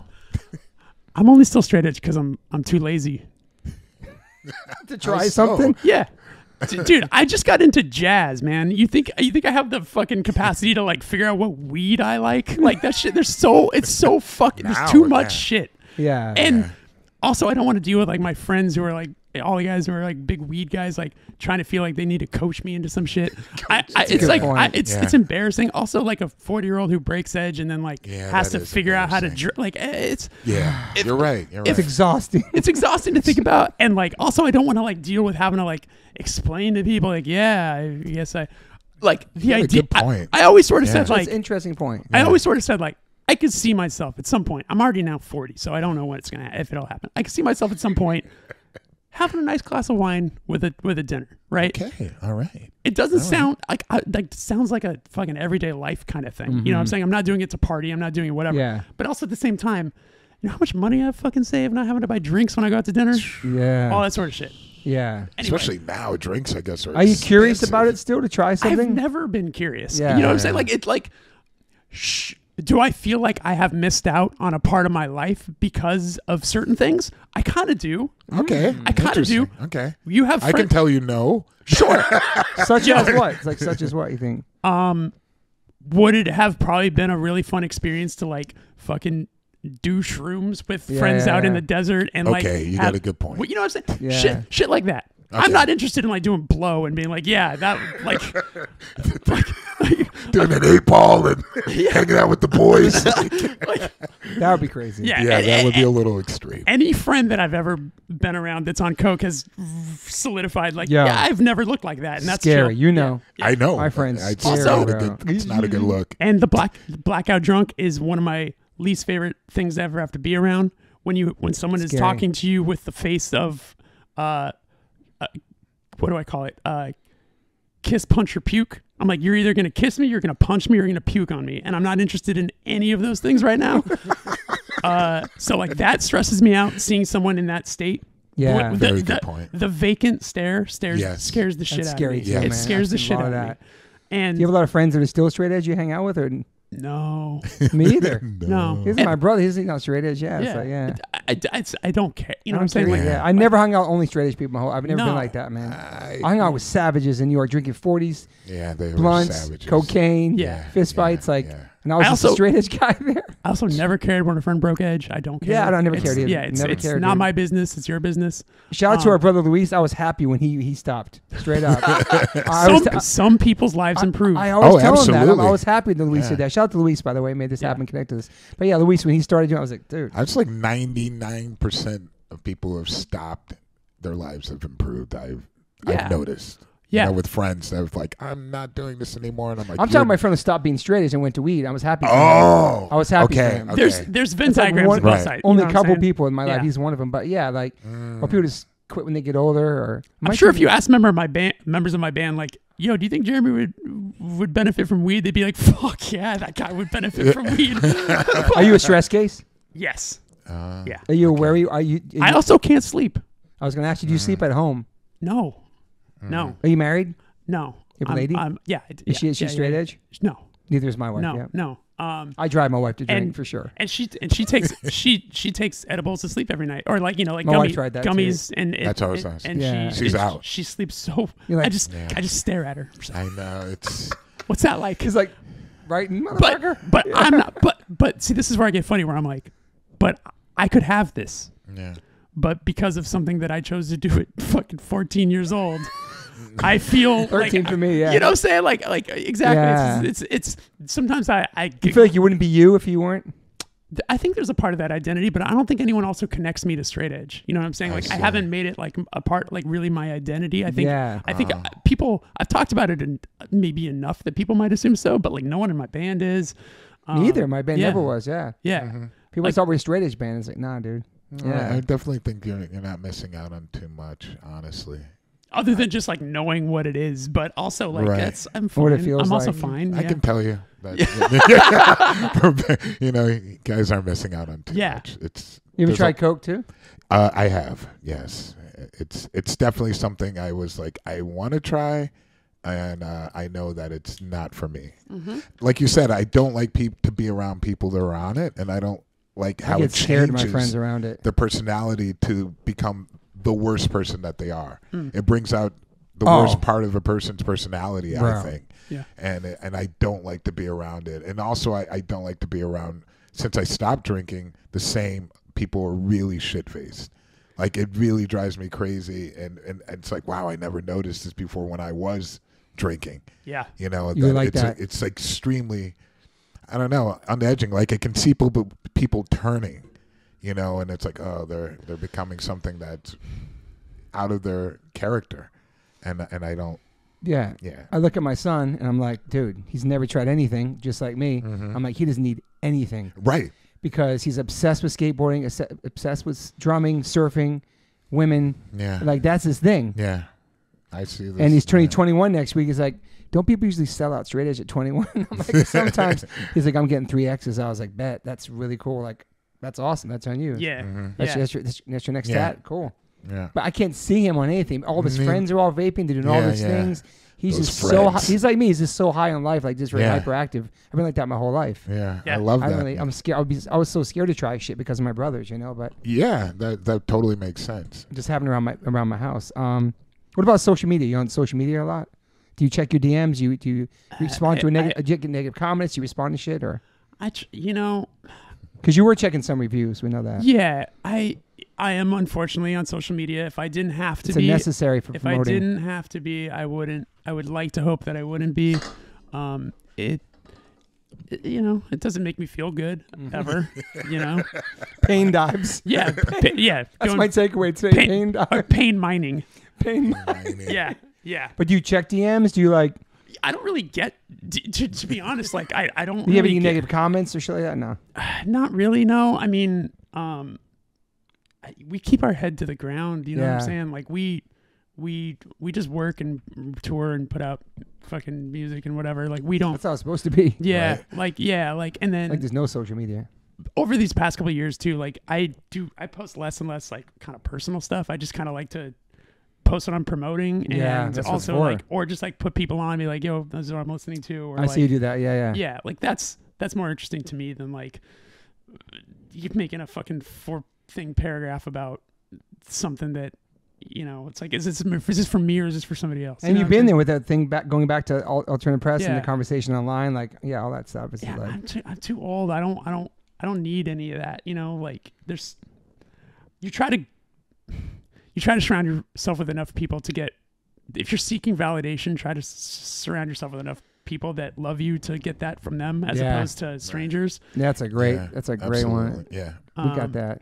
But Yeah. that's but you know it's it's one thing to say that into a microphone in front of two people that that can relate to it, but it's another thing to actually accomplish it. You know what I'm saying? know it's hard. It's in the It's it's, it's hard not to be on Yeah. that shit. Like when you when all of a sudden you see a live photo of yourself and you're like, damn, I look kind of cool. Maybe I'll repost that, and then you do that, and then I don't feel good about doing that. I do that, and I'm mm. like, I felt. I, f- I know I like quote unquote look cool in this, and like my friends are gonna heart it or whatever the fuck. But like, but like, but like, I'm now thinking about how for 24 hours this photo of me like kind of looking cool is like sitting in my story, and like, what am I getting from that? I'm not, Yeah. I'm not like I don't. I'm you're more- supporting the photographer. That's a big thing to me, honestly, too. Same. You know yeah, what I'm saying? yeah, Absolutely. yeah. Yeah. Support the photographers. Don't really sure. get much love. You know they what I mean? really Yeah. appreciate that too. So you so you have any like daily rituals? I know you're a coffee guy. I'm a coffee guy. I'm a Peloton guy. Ooh, Okay. Yeah, respect. because of the that was the pandemic. It was. Yeah, At least, 'cause you're, at least you're still riding. A lot of people got rid of those supposedly after the pandemic. Like, True, Yeah. I it heard was like that. a downfall Yeah. with it. But yeah. Yeah. you're on that. That's cool. Yeah, it's. I don't. So you exercise. I do. I I was doing like the Y for a while, and then pandemic happened. I was like, I got to do something because you know I.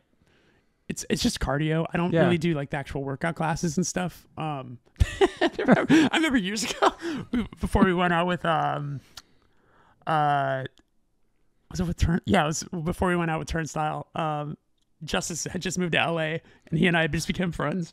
And him and Luis and whatever, they're like, they're like, yo man, we want to get you fucking ripped. And I was, they're, they're- they're- they're like, we want, they're, 'em. they're like, they're like, we want you to like show up day one of that Turnstile tour and like flex on D-Fang. He's jacked, man. Daniel Fang is jacked. I was- and especially at that time too, I was just like, I was like, I love the idea, and I, and, and I love that you guys are looking at me like I'm a fucking gerbil that you guys want to like turn into this thing. Like, uh, I was, but for me, I just try to focus on cardio just so I don't lose that on stage. Yeah, you know, like Yeah. I don't when I'm doing the classes too. I have them on mute and I just listen to podcasts. I just kind of go at my own thing, but at least so I can track the stats after of like what I Yeah, yeah. did. But I I vaguely follow, but like I don't really do the like I'm not. In, invested in like the, Yeah. the person I'm watching How many coffees today? coffees. Because you just Two. had one, you had one like midday, almost coming here. Yeah, well, I also sleep late. Ah, okay. So you're a night owl. I am a night owl. Well, you don't sleep at all, actually. So Yeah, So I go to bed. I like. I've Three, I four? eventually go to sleep around probably like two thirty three. Okay. And then I'm up at like ten. oh, that's pretty good. Yeah, that's pretty Yeah. good. Yeah. Yeah. Yeah. What about you? Uh, You're you strike me as like I'm a fucking I'm up with the sun. You strike I'm me as not. one I'm of not. One, I'm not one of those yet. A lot of my friends are like, wake up in the morning, go on the phone six in the morning. Now, my wife stays up incredibly late doing puzzles every freaking night. Moon does till like Yeah, two or three in the yeah. morning. You know, I'm, I'm in bed before midnight. Try to be, and I wake up like eight. I'm not like seven in the morning. Go to the gym four in the morning. Marky Marky Mark type. Mark Wahlberg goes to the gym at 4 a.m. Yeah, at 4 a.m. club. 4 a.m. I watch his clips. It's crazy. Yeah. Like, in the gym, like, nah, dude. I'm not really a what morning time is, person, What time is Mark Wahlberg going to bed? I don't know. bro. Dude. I don't know. He sleeps that often. It looks like. I mean, I follow him too, and he's. it seems like he's up all the time. bro. It's in the like gym four at 4 a.m. with his morning, morning. boys, like working out, like Yeah, let's get it 4 a.m. club. yeah. He's got all his boys That's like early, around man. him, like That's- early. 7 That's- a.m.'s early to me and to he's work like out. That's- dictating that's- the workout for like a bunch of people are, that have changed. He looks, he looks. They, his friends look ripped. from The older dude workout. he's yeah, the boy? older dude. I was like, dude, that dude's like sixty and ripped. I don't know how they do it, man. It's not a happy life. Yeah, that's some weird. hol- yeah, that's, some, it's- that's some Illuminati. And I'm just Yeah. kidding. Um, but yeah, I'm not really a super morning person, but I'm up before my family. I'm in bed before my family. But we, we watch movies and do all that stuff. But I do sleep good. I try to at least get eight hours. I try. It's important too, Extremely, especially when you get older. I think. yeah. But yeah. so you don't you get like four or five hours. I try to get it. I try to get at least six and a half. That's great. Yeah, that's I great. Try, Yeah, I try. six I do my best, Dude, you know? sleep, sleep, sleep is everything. Yeah, Without is. sleep, your immune system, just everything. Sleep's the most important thing. Sleep and water, is. obviously, but like Yeah, just for your immune system and shit, you know. totally. Yeah. Yeah. What about warm ups? You do warm ups on tour? Vocal warm ups? No, You ever lose your voice? my talking voice. I'll Yeah. lose, I'll lose my talking voice, but We I can just talked still, about this. But I can still yell. Yeah, I try to talk to my wife about it. This is the talking voice and the singing voice is two different things. Yeah. you can sound sound totally hoarse, and your band's like, "Oh my god, don't talk all day," and then when you sing, it comes from a different place. Yeah. That's such a. I love talking true. about that because people don't understand that where you- you're singing and talking from. hmm But I just like won't talk for a whole day. Yeah. Write notes to my band. I'm trying to save my voice. That's the best thing to do is not talk. Right. People. So, how I'm talking, like obviously I have a raspy, interesting, weird sounding voice. It's cool. I like your This- voice. Cool. Thank you. You can do animation. Yeah. I can hear a It's- character there for sure. Uh, people have this idea that I sound like this because of singing, and it's not. I've just always sounded like this. So when I'm on tour, it's you can imagine it's not much. It's it's it's it's worse than this. So uh, so that's tough. Um, and it's also tough because that's usually when we have to do press and I have to do fucking interviews and, Yeah. and like on Oh, video yeah. shit, and I'm just like a wreck. So you know it. So you're not warming up at all. It hurts my feelings a bit when people like are just like, man, fucking Jeremy does not know how to fucking sing and stuff. I'm just like, it's you just happen to be catching me at the worst time to be interviewed on shit. Um, anyway, you know, I tried doing warm ups. You know, early on, I tried doing the fucking. I'm not gonna drink coffee. I'm not gonna. I'm gonna Mm, do all. Of, I'm gonna something. do all of Mm. these things that are supposed to supposedly supposed to help you. And uh, nothing changes. You know what I'm saying? Like, like no, I'm still able to project and I'm still able to yell. I'm still able to do my job. Right. Yeah. I try to rest as much as possible. Um, obviously, if a day off is around, I'm fucking psyched. Yeah. You know, whatever. Love Um, days off. oh, yeah. yeah. But uh, a great story that I love. Brad Wood, who was mentioned earlier, he's who produced "To Survive" by in Stage Four. He's done a lot of great stuff. Liz Phair, Far, Smashing Pumpkins, all sorts of amazing records. Um, he did the first two Sunny Day Real Estate records as well. He recorded Diary, and those guys were like just out of high school, really Wow, young, okay. right? Um, I don't know if you're very familiar with that record. No. Um, it's a beautiful, it's incredible record. His voice is incredible, right? He tells this great story where uh, all the demos are great, it's a Sub Pop record. He shows up, you know, Sunny Day Real Estate comes out to Chicago to do the record, and Jeremy Enigk cannot sing. And Brad Wood is like, "What happened? What's going on? Talk to me. Like what? Like Yeah. Like what if? What have you changed?" He's like, "Well, I wanted to be prepared for the record, so I stopped smoking. I stopped drinking. Co- I stopped drinking coffee. I, you know, I'm trying to whatever. I'm drinking a lot of water." And uh, he's like, "What's been the major change?" He's like, "That I stopped smoking." And he's like, "Let's go get you a carton." Wow. And literally went, got him cigarettes. Voice came right back. Damn. So it's literally whatever your body is Yeah. used to. You know what I'm saying? Like, Yeah. yo, I watched fucking Rick Rodney from goddamn Strife with a two liter of Coke on stage as his drink. Oh. That's great. Really. Disgusting. I, Damn. I can't. Think Even, about, think about Lemmy. Lemmy could perform and do all I the stuff he put in his body. it's true. I know a Dickie lot- Barrett, Dickie Barrett's voice. so many Smoking? vocalists have different routines, and I, I can't understand a lot of them. It works for people. Yeah, whatever works. Whatever, Yeah. Whatever different. you have found. I mean, like, Works I, for you. I've I've been told that wine is very dehydrating. You look, Extremely. dude. Fucking Peter Steele took down like four on stage a night. The singer of the National takes down like two on Did you stage see a Pete night. Steele from Type O? Yeah. Yes, He did. he was. Yeah. He, he His like voice was sick. chugged wine. Rest I in mean, peace. Singer Death Angel, it's like a lot of gin, like it'll be like a bottle. You know, I'm like, how is that? And his projection is ridiculous. That's what I'm saying. It's Some it's people, man. unbelievable. I don't know how it can happen, but not with me. So No way. Dave I- Grohl drinks on stage too, right? I don't know. I copied Dave Grohl because he chews bubble gum, she's gum the whole and time. And that's what Yeah. I've been doing for like yeah. a long time on Yeah. stage, trying to keep my. I like it. I don't know. I'd be so afraid of swallowing Yeah, that shit. I I, I have swallowed it. it. I have a spit in the crowd. I have a couple things. I also have a voice thing that I'll I'll I'll reveal to you guys off mic. Okay. It's a, it's, Okay. it's a it's a thing. It's a secret voice thing. It's that's literally why my label is called that. Okay. It's an Alright. inside joke with friends. It's an inside Ah. comment with friends. Okay. Do you have any? Ma- you have any major regrets in your life? Wow. We'll do two questions. You optimist or pessimist or major regrets? These are your two questions. Uh wow. So I have to answer answer both of Yeah, those. yeah, whatever you want. Um, whatever order you want. Of course, everybody has regrets. I mean, yeah. Yeah. I mean, I, if we want to get heavy, I mean, I wrote an entire record about my mom passing, and a big part of that was my handling her sickness by uh, not being home. That is heavy. And That must have been hard to write and very therapeutic at the same time. yes, it was the easiest record I've ever written, and also the hardest record I've ever written. Yeah. the easiest record because there was a plethora of stuff to write about. Right. There was never not a lane that I could go down. You know, it was like Yeah. it's like, oh, do I want to write a song about when she was on her way out, and I could have been having valuable conversations with her, but no, I chose to go hang out with my friends, or I chose to, you know, all sorts of stuff. You know, I like to think, I know I was loved, and I, and she knows, she knows that I loved her, all of that. But could I have been more present? Absolutely. She passed away while we were on stage, uh, and wow, in man. in Gainesville, Florida. Yo. So Wow. like I got I came off stage to the text from my brother being like, You need to give me a call. And I was like I immediately knew what it was. Was she in the hospital at that time? She was in hospice. Hospice. Yeah. And and I had just gotten home from uh we had just done Japan and Korea. Um and I got home and she was she had been in hospice care and I visited her and she seemed like she was doing okay and then it was then I was like, okay, I, we're gonna go play this festival in Gainesville. Is the fest? Where it's like, we're Yeah. gonna, we'll go play the fest. Uh, I'll see you on Monday. She's like, okay. And then she went to a doctor's visit the next day. Got sick while at the doctor's office. Like her body just started to shut down. They took her to ER. My brother called me. We were playing the next day, and Chris is my brother. Chris, he's like, he's like, it's it's pretty bad. I was like, do you think I need to come home? And he was like, it wouldn't hurt. And I was like, but my brain is like, my whole band flew out here. Yeah. If we don't play this thing, we're gonna lose a bunch of money. Yeah. You know, I'm I you start making excuses for all the reasons to not go home. Yeah. When it when in my heart, I probably knew that I was just afraid to face that. yeah. And then I also convinced myself she would want me to stay Mhm. because that's the kind of mom she was. She Yeah. was very she was very just like, don't worry about me. Like you got you know, I'm so proud of you. You go I do was your gonna say thing. she's super proud of you. Yeah. that kind of a thing. So I was like, she would want me to stay, so I'll stay.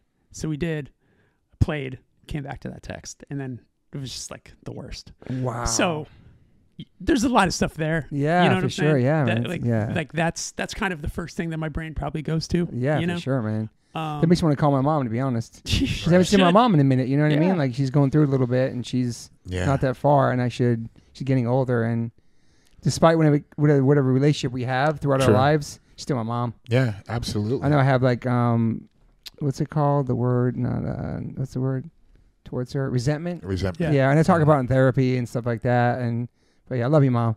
Um, There's, I mean, the you know any advice I give to any friends who still have living parents is like think of the shit that you would Yeah. never ask your parent, never think to ask your parents. Ask them just for sure. like I just, my dad's still around, and You guys, uh, you guys close? We are not not close. Yeah, he yeah. was we. I never lived with him. Like Yeah. he, my, my parents got separated while my mom was pregnant with me, Yeah. and he was always supportive, and I'd see him on Wednesdays. You know, kind of kind of a deal. Um, nice guy, nice guy I'll ever meet. But Yeah. you know, just can't say I learned anything from him. Mhm. You know, Mm-hmm. but he's he was always pleasant. Um, Hardcore taught you more. sure. Same. Same, So- dude. Uh, Thank you, Kevin. Seconds. so anyway, like we recently, I we just did a listener mailbag episode where I just it was just answering questions that were Oh, yeah, sorry, I do that yeah, too. yeah, Yeah. right. And my co-host, who's my editor, he was like, "Can I ask you a question before we get to the listener questions?" I was like, "Yeah, for sure." And he's like, "Why are you named Jeremy?" I've never thought about that in my life. I've never. It's it's such an obvious thing that people probably know their Yeah. stories. I've never I never thought to ask. That's so I literally called my dad, and he didn't answer. Uh, but then, but then, I but don't know why then, I'm laughing. but yeah. Fuck you, I'm not gonna say. it's funny. It's funny. Uh, but then I when he did when I did get on the phone with him, I recorded it and we put it at we put it at the end of the episode just because it'd be kind of fun. I was like, Oh, that's cool, and, man. and let me tell you, the story, not good. You want to know the story? yeah. yeah. Oh, my coworker named his kid Jeremy. We thought it was a neat name. Oh my god. It's like that's it. That's literally it. Just that you you you just stole the name idea from your coworker. That's it. That's my legacy. fucking fucking uncreative ass parents.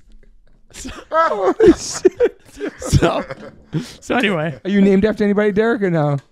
yeah, it's kind of funny. Who are you named after? I mean, it's not directly the same name, but I remember that my I asked my mom. I was like, "Yeah, well, like where did Derek come from?" Because I looked it up, and it's like a 16th century like hangman, and uh, it's also the the well tower for oils are called the Derrick. oh Derrick, yeah, yeah. Jeez. And I was like, and she was like, no, it's definitely not from any of those things. But uh, but she was like, I really love that show Bewitched, and there's the character Darren. That's right. Oh, And Darren, and then she was like, Yeah. I thought Derek from Darren. Oh, Darren. Remember yeah, Darren, Yeah, Bewitched. her husband. Yeah, and it, it came from kind of like that transformation to Derek. Damn. wow. I've never. what about you? Do you I know? never even asked my mom, man. you don't know either. I know it's just Tracy Todd Toby, three T's. That's all I know, man. Wow, you should ask. Tracy Todd. My dad's name was Stacy, but the name of my oldest Tracy, Yeah. and then Todd Toby. Maybe just want to have three. T- we always have three Three T's. I don't know. We all have tattoos of these three daggers with a heart with mom. We all have me and my brothers. dope. The three T, three T's. Yeah, I don't That's know. cool. That's a good question. It's it's funny though, right? Like Yeah. so, like it's things like that. Like I, we, there's a song on that record called uh, "Palm Dreams," which I wrote about. I never knew why my mom came to California. She's from Nebraska, Oh wow. and and I when having to go through the thing that I would not put on my worst enemy, which is having to go through your parents' stuff when in the matter of cleaning Yeah. out a house and and deciding what's worth throwing away and what's worth keeping. brutal. It's it's we wouldn't put it on my worst enemy. Okay. And through that, I read letters and I and I and I found stuff that I was like kind of gave me a little bit of an insight, but it was like, you know, a thing that I repeat in the song is like, what was it that brought you west? And it's just like, I never thought to ask, you know, Hmm. like I. So anyway, ask more questions. ask Yeah, more questions. yes, ask yeah, ask your parents absolutely. even the I most agree. mundane shit. Yeah, I know, cause yeah, you're totally right. Because we've had, I've had my brother on here tell stories about my dad, and my mom tell a totally different story about my dad on here, and both their memories are different of absolutely. my dad yeah. before he I was gonna say this. Yeah. Like When did my your- when older did your father sister, pass? yeah. He died when I was three, Three. And I have two other brothers, and my mom was raising three boys, and we've had all these conversations, emotional conversations on here. My first episode was my mom; she was crying and talking about my mom, Mm-hmm. about my dad, and just like the different, we block out different things in our childhoods or whatever we, about your True. situations growing up, and I feel like it, all the stories don't match a lot of the times, you know. Right. And But I that, continue. but, but that person ends up being a more complicated person than you im- you can imagine. They have different sides. They're human. You know. Yeah, That's yeah, what yeah. You start to realize your parents aren't. You know. Oh my god. That's that's the truth. I think that's the moment you become an Yeah. adult is when you realize you're like, oh, my parents are uh, flawed people as Yeah, well. You know right. what I'm saying? right. Like, yeah, exactly. Yeah, Yeah. yeah. So And then you become a parent, and then you're like, "Fuck, yeah. am I, am I like that?" Do you know what I mean? Yeah. Then you, for me, it's just like, right. Yeah. like I never want to be like that. I want to be different to my son and be, Right. you know, more open and loving and compassion and conversations and all that stuff, which I've definitely pulled off. Me and my wife for sure. Very lucky with my son. Yeah, you know what I mean? yeah. That relationship that I didn't have such an open relationship with my mom, talking about things. Like we talk about everything in this house. Yeah, you know that. I've, you know I've what I mean? seen So that, it's, yeah, but that's really cool. I got that vibe immediately when you were talking to your son. yeah, it's just we talk about everything. Too Yeah. much now. It's just like I don't hear anything else. But Yeah. but yeah, I'm very very lucky. He's a very good kid, and yeah. What about optimist pessimist? I'm a pessimist for sure. like, I I wouldn't even try Really? to try to make a I don't, I don't get that vibe from you at all. It's interesting. I, th- you Your know, life. probably. I like to. I would like to t- convince myself that I'm more of a uh, of an optimist, but I think the people closest to me would laugh and be like, "All Okay. right, all right, man." Um, but you know, I I think I try to see the positives in Yeah. situations, so I I make the effort to be a pessimist, but in my core, You make the effort. I, i but in my core, I'm thinking of all of the fallout or all of the worst case scenarios, and I think, I think, having the foresight of forward thought about like what a worst case scenario could be helps get a thing across the finish line a lot because I, I'm I'm. I'm already thinking about what could all go wrong in a scenario, whether it's like with releasing a record, whether it's Yeah. like with with with a tour, you know, like going into a tour when post COVID, being like, okay, like if we if someone gets sick, how are we gonna Yeah. navigate that? You know what I'm saying? Like, so I'm going into it thinking someone's gonna get sick on this tour, so how are we gonna deal with that going forward? You know, Yeah, like which is a reality. Yeah, that's, that's not that's not being. that's just one example of like how my brain would work, where it's just like yeah, where it's like, okay, what if you know back in the fucking mid two you know 2010, it was like, what if our fucking record leaks before or whatever, dumb shit like that. You know, like how are we gonna use that to whatever? Um, but yeah, I I try to be more po- I, you know what it is. I keep I, I'm better at bottling up the pessimism and just letting it rot my brain, and then Mm. outwardly trying to pretend I'm a pessimist. I mean, I'm an optimist. Okay. Yeah. so I I like to self rot with it. But I mean, I feel like I don't know. That's good vibe. You, yeah, I don't know. You seem like you always smile. You have a good smile. You seem like you're every time I see you, you're like, I can't help but smile on stage. yeah, You know what I'm saying? Like I, I'm Yeah. writing the saddest fucking songs you've ever heard in your Yeah. life or whatever. But like when someone is yelling the words back, like I can't hide that that's not the best feeling in the entire world. yeah, man. You know, I don't. I'm not. I don't. When I find myself, um, not appreciating playing on stage, I get real down on myself. I get real mad Mhm. at myself because I I said early. I've been there too. I said early on where I was like, the second this feels like a job, I'm out, Yeah, and I didn't stand by that because there's times where it does feel like a job. same. You know what I'm saying? And Yeah. and those moments, especially post pandemic, Oh yeah, were moments where I was like, give me the worst set of my life. It's something to do. It's I'll something. To, it, it's yeah. performing. It's it's something that I missed so much. And like, not that we took it for granted, but I feel like when we, everything stopped, I was like, fuck. Like this is the first time I'm not going to Europe in like 20 years, a Yeah. summer tour, you know, stuff Yeah. like that. Like just when everything stopped, me like I do appreciate my life and I'm, everybody's healthy with my family, and but yeah, but like not doing that thing that we you've been doing, and having that connection with humans. I don't know. That was really hard. Was when did you start this podcast? 2019, Okay, right say- before. I was gonna say because I Yours is 2020, right?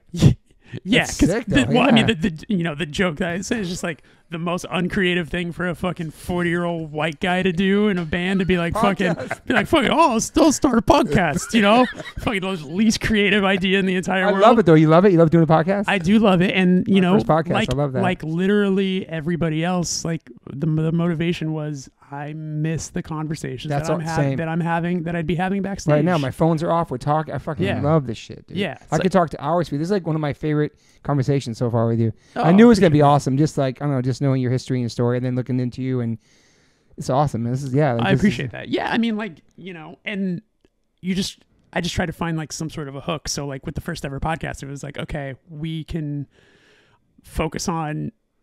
You know, because it, it, it, it opens up opportunities for me to then talk to friends that I have known for 15 years and find new things to talk to them about. Hundred percent. Right. where it's just like 100%. I actually don't know what your first concert was. I actually Yeah. don't know what the first song you learned how to play a guitar was. Yep. What was the first, you know, whatever. What was the Um, first song you playing guitar? Uh, for me, what would it have been? It probably would have been um, "Smells Like Teen Spirit."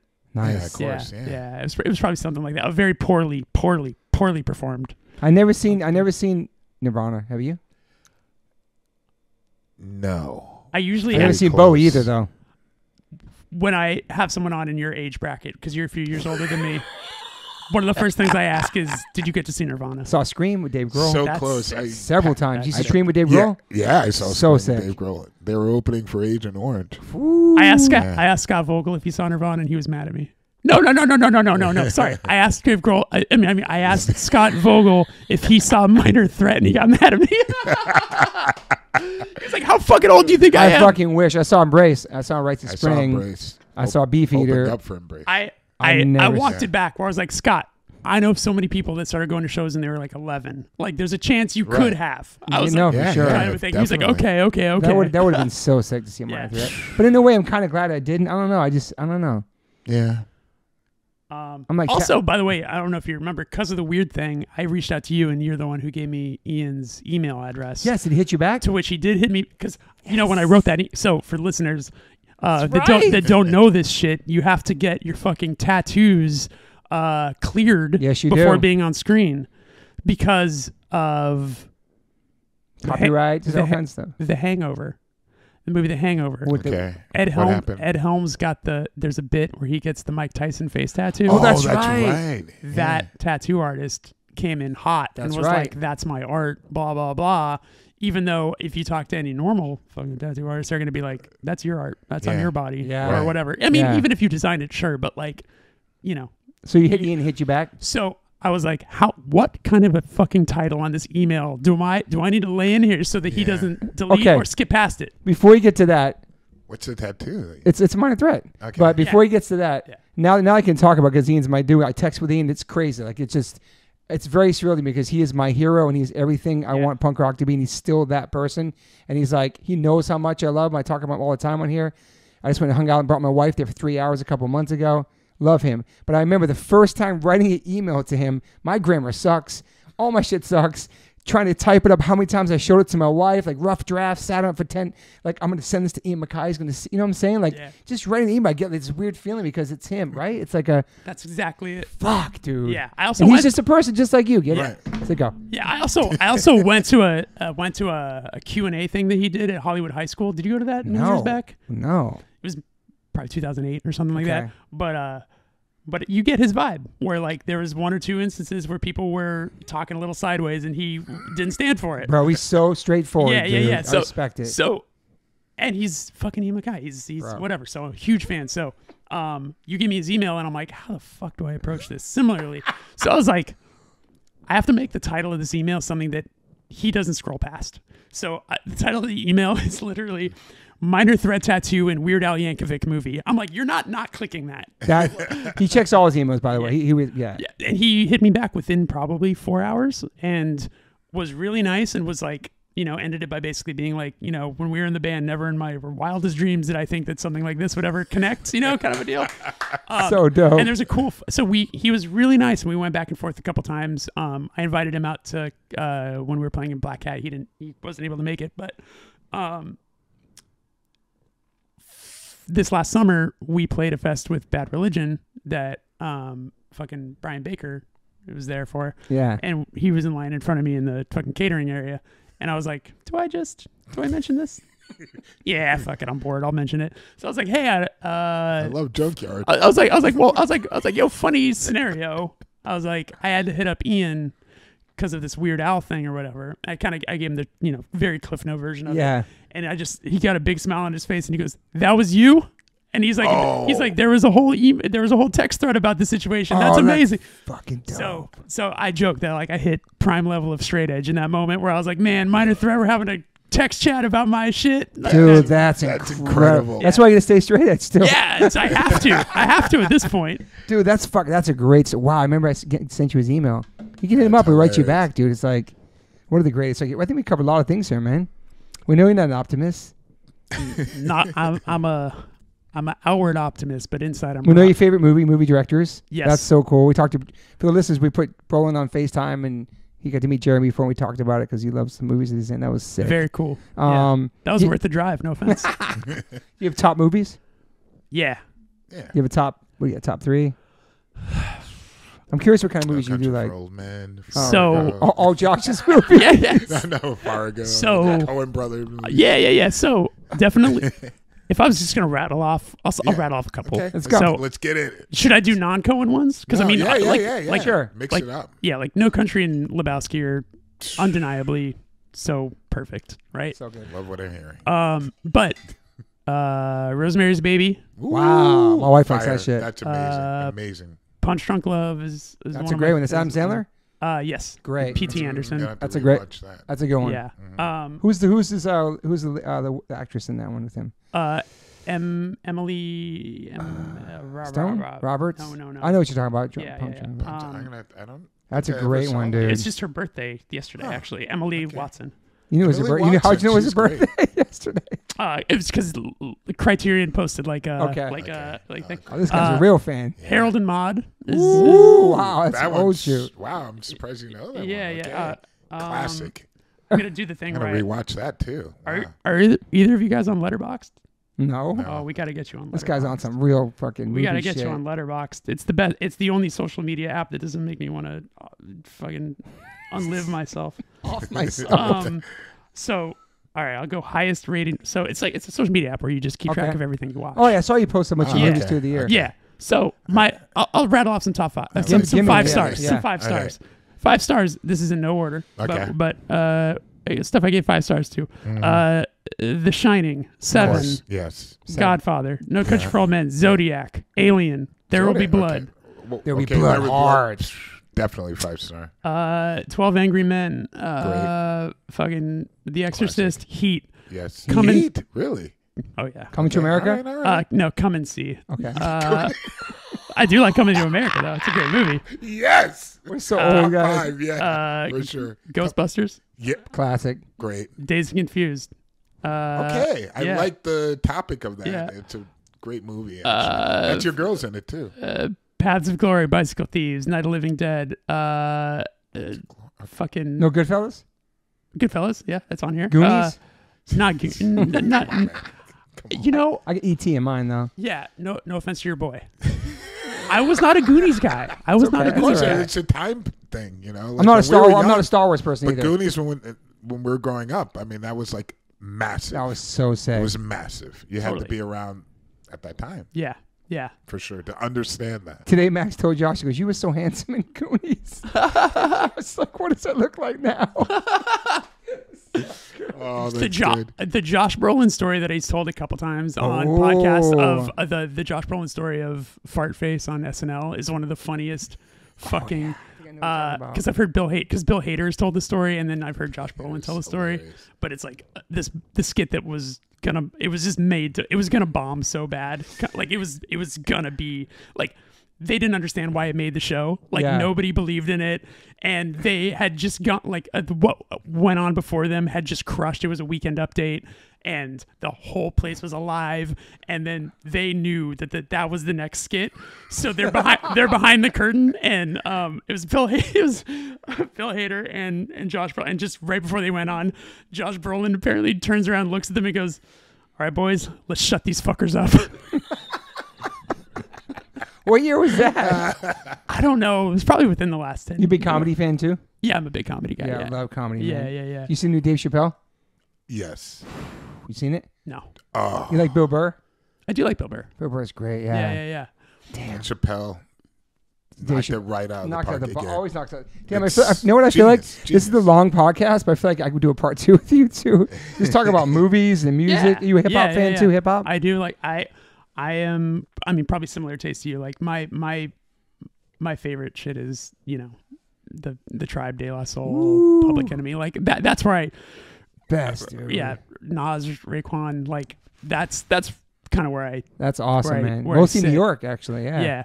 You know which one I also really have a big love for that carried over from when I was a kid is Arrested Development. Great. Yeah. Great. That, that like I Yeah, we were just talking Ten- about- Tennessee was like one Tennessee, of my favorite Everyday songs. People, yeah, yeah. Dude. So so good. They just performed on uh, Hip Hop's yeah, 50th. that's what we were Are we talking getting emotional Oh, watching yeah, it? yeah, where They we- did. Yeah, Wow. we, They we, we, did. we were both watching from our houses. I was, like, oh getting my emo God. watching yeah, it. Like, totally emo. and then Frosty came out and Fat Lip Yeah. Breakdance. Oh, I did it was windmills. amazing. It was It was all amazing. native tongues. It was beautiful. Queen That's Latifah. amazing. It was incredible. Damn. Really I love that era, dude. We're so lucky to live wasn't- in New York during that Yeah, shit, bro. We're yeah. so lucky, man. That's amazing. Absolutely. We worked across street from each other in Soho. I was at Nana Shoes. He was at Phat Farm. Yeah. Crazy. Before we the- had Wow. bands. And I that, know, and, then- man. and things Damn, you guys you guys go back that far. Yeah. Yeah, yeah, That's beautiful. yeah. Fuck. you worked at bars that me and my friends would try to get into. My wife, my wife was a bartender Yeah, I, at. I was working with Moon before he was married to her. yeah, Wow. the Yeah. beauty bar in New York, right? Yeah. He was security. That's right. Thanks for protecting my wife. Yeah. she I think she can protect herself, but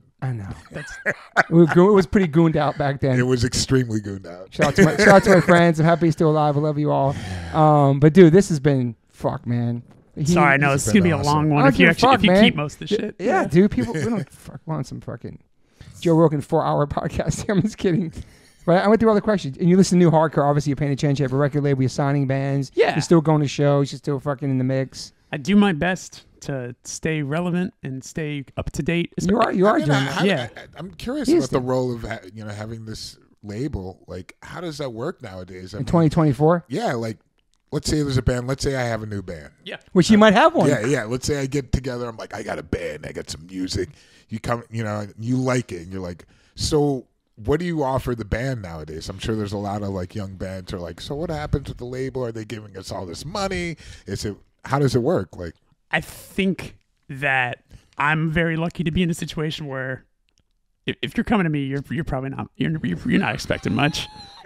my my deal with most my a seven inch man. yeah my deal with most bands is like I am I will put my name my my fucking full effort of promoting the shit out of this and I'm gonna press it and it's gonna be available. That's that's all I can really do like for you. the material, like an Uh, yeah, album. Yeah, vinyl. yeah, yeah, yeah, yeah. So So you gotta like- go on tour and support it. yeah, I'm I'm lucky to where a lot of the bands I've worked with have already pre-recorded whatever I'm putting out. I So see. I have a record that just came out this last Friday. It's an amazing band called Infant Island. Mm-hmm. Um, it's like so abrasive. It's amazing. Um, but that was a situation where I like those guys and I like that band a lot, and they were struggling to find a home for it, and they were a, they were like about to just be like, "Do you think we should just fucking release this ourselves? Just fucking throw it up on Bandcamp?" And I was like, "Hold your horses, let me do it." And then I just Mm-hmm. So took it's it over. already pre-recorded. It was They already done. Yeah, yeah, yeah, yeah, yeah. I have. I. I. I don't think I've really dealt because I've done a lot of seven inches. I didn't want to do LPs for bands for a really long time because Right. we all know the fucking. You when you put out a record for somebody, you're put that you are holding their dreams and their and Yeah, their man. message in your hand, and you Yeah. want to do the best job possible for them. Right. So I was pretty allergic to fucking doing LPs for bands because I was like, I have my own band, Yeah. I have my own. So I love doing just seven inches for bands for the longest Mm-hmm. time. And dealing with recording budgets and all that. Uh, yeah, it's just like I was, you know, I, I just I was happy to just put out seven inches and shit like that. Um, but uh, Soul Glow, who I did an EP for, um, I was instrumental in getting them on Epitaph. And then once they got on Epitaph, it was like, hey, do you care if my label does the vinyl? And Epitaph was like, happy to. Have fun with it. So I was still able to be a part of the LP, Mm-hmm. but it was like Epitaph. That machine was handling this, the actual release, which is Yeah, great. That's great. So anyway, That's any- cool. Cool. Yeah, That yeah, is yeah. cool. Yeah, I was really curious how that, how Yeah, that yeah, works yeah. nowadays. I mean, people recording music, Billy, in their in their bedroom. yeah. Stuff That's like true. that. You know what I'm saying? It's a different world, a whole man. It's like different it's world, online and just like Uh-huh. so you make the product and you have to go tour and support it just like we've always done. We never really made, made money from records. Right. Right. think yeah. about True. it. You might have did. You're in Sepultura. It's a No, different no, no, world. no, no. You're right. Do you know what I'm saying? though? No, but you're like go on tour, sell your merch, Yeah. play your shows. Yeah, yeah, The- absolutely. The, label gets no money from the merch before the 360 deals and all that stuff. You make your own Right. merch, you go and you grind, you, and you get your, the message out. You know what I mean? Yeah, But now it's so it's easier with online and And EPs, YouTube a lot of EPs. so many of the circumstances with stuff I put out too were like people that I just became friends with who all of a sudden just like were like, "Hey, can I show you what we my band my new band did?" And I'm like, "Yeah, Mhm. let me hear it." And I hear it, I'm like, "This is so fucking good. I'll Yeah. put the, I'll put this out." And then that's kind of how it happened. like the band when you saw in Canada. exactly. It's Mhm. crazy. That type of shit. That's Yeah. crazy. That Yeah. moment you were there, you saw them, and just like then you put them out and just Yep. so cool, man. Yeah. And they ended up doing a lot of really cool stuff after. It was awesome. So new records coming this year. Yes, we're going in the studio with Mr. Ross Robinson again. Uh, and uh, we're going in with him in um, April. What label will this will this be on? Your own label? Can't say. Okay, okay, cool, cool, Oh. cool, cool. That's fine. All So right. I'll just. We're not an epitaph anymore. Okay, it's So- not Victory, so it's somebody else. Yeah. It's not. It's not It's not real. I don't know if that's still a label anymore. I will I- I happily don't tell think you so. since we hit. Just. Be, I don't want to. I don't want anyone to get mad at yeah, me yeah, for, it's all good. for yeah, spoiling yeah. some shit. That's it. So new record this year, 2024. Ross New Robinson, label, new awesome. label. Yep. Yep. Yeah, I hopefully can't- out by Exciting, fall. exciting. hopefully. I'm excited to see what Derek does next too. Yeah, me We're gonna too. say that some other episode, yeah, but yeah, another to episode. be fronting like a hardcore band, it'd be sick. Ooh, okay. Would you bring it back to the hardcore? Psh, I, I I can't say no. Okay. but thank you guys for being here. Yeah. Your stuff's all online. Your your label, your Yep. you, your bands. Yep. And Fucking. so yeah, man, this has been awesome. Great to sit with you and hear your story and fucking. Appreciate it. Yeah, Thanks for Listeners are really gonna appreciate this. we'll do is- we another talked about beloved ghouls album. You know? Yeah. do it. Let's do it. I want to be on this one. You're right. Let's do it. little faint little part in the background. All right, thank you, thank you for listening, everybody. Peace.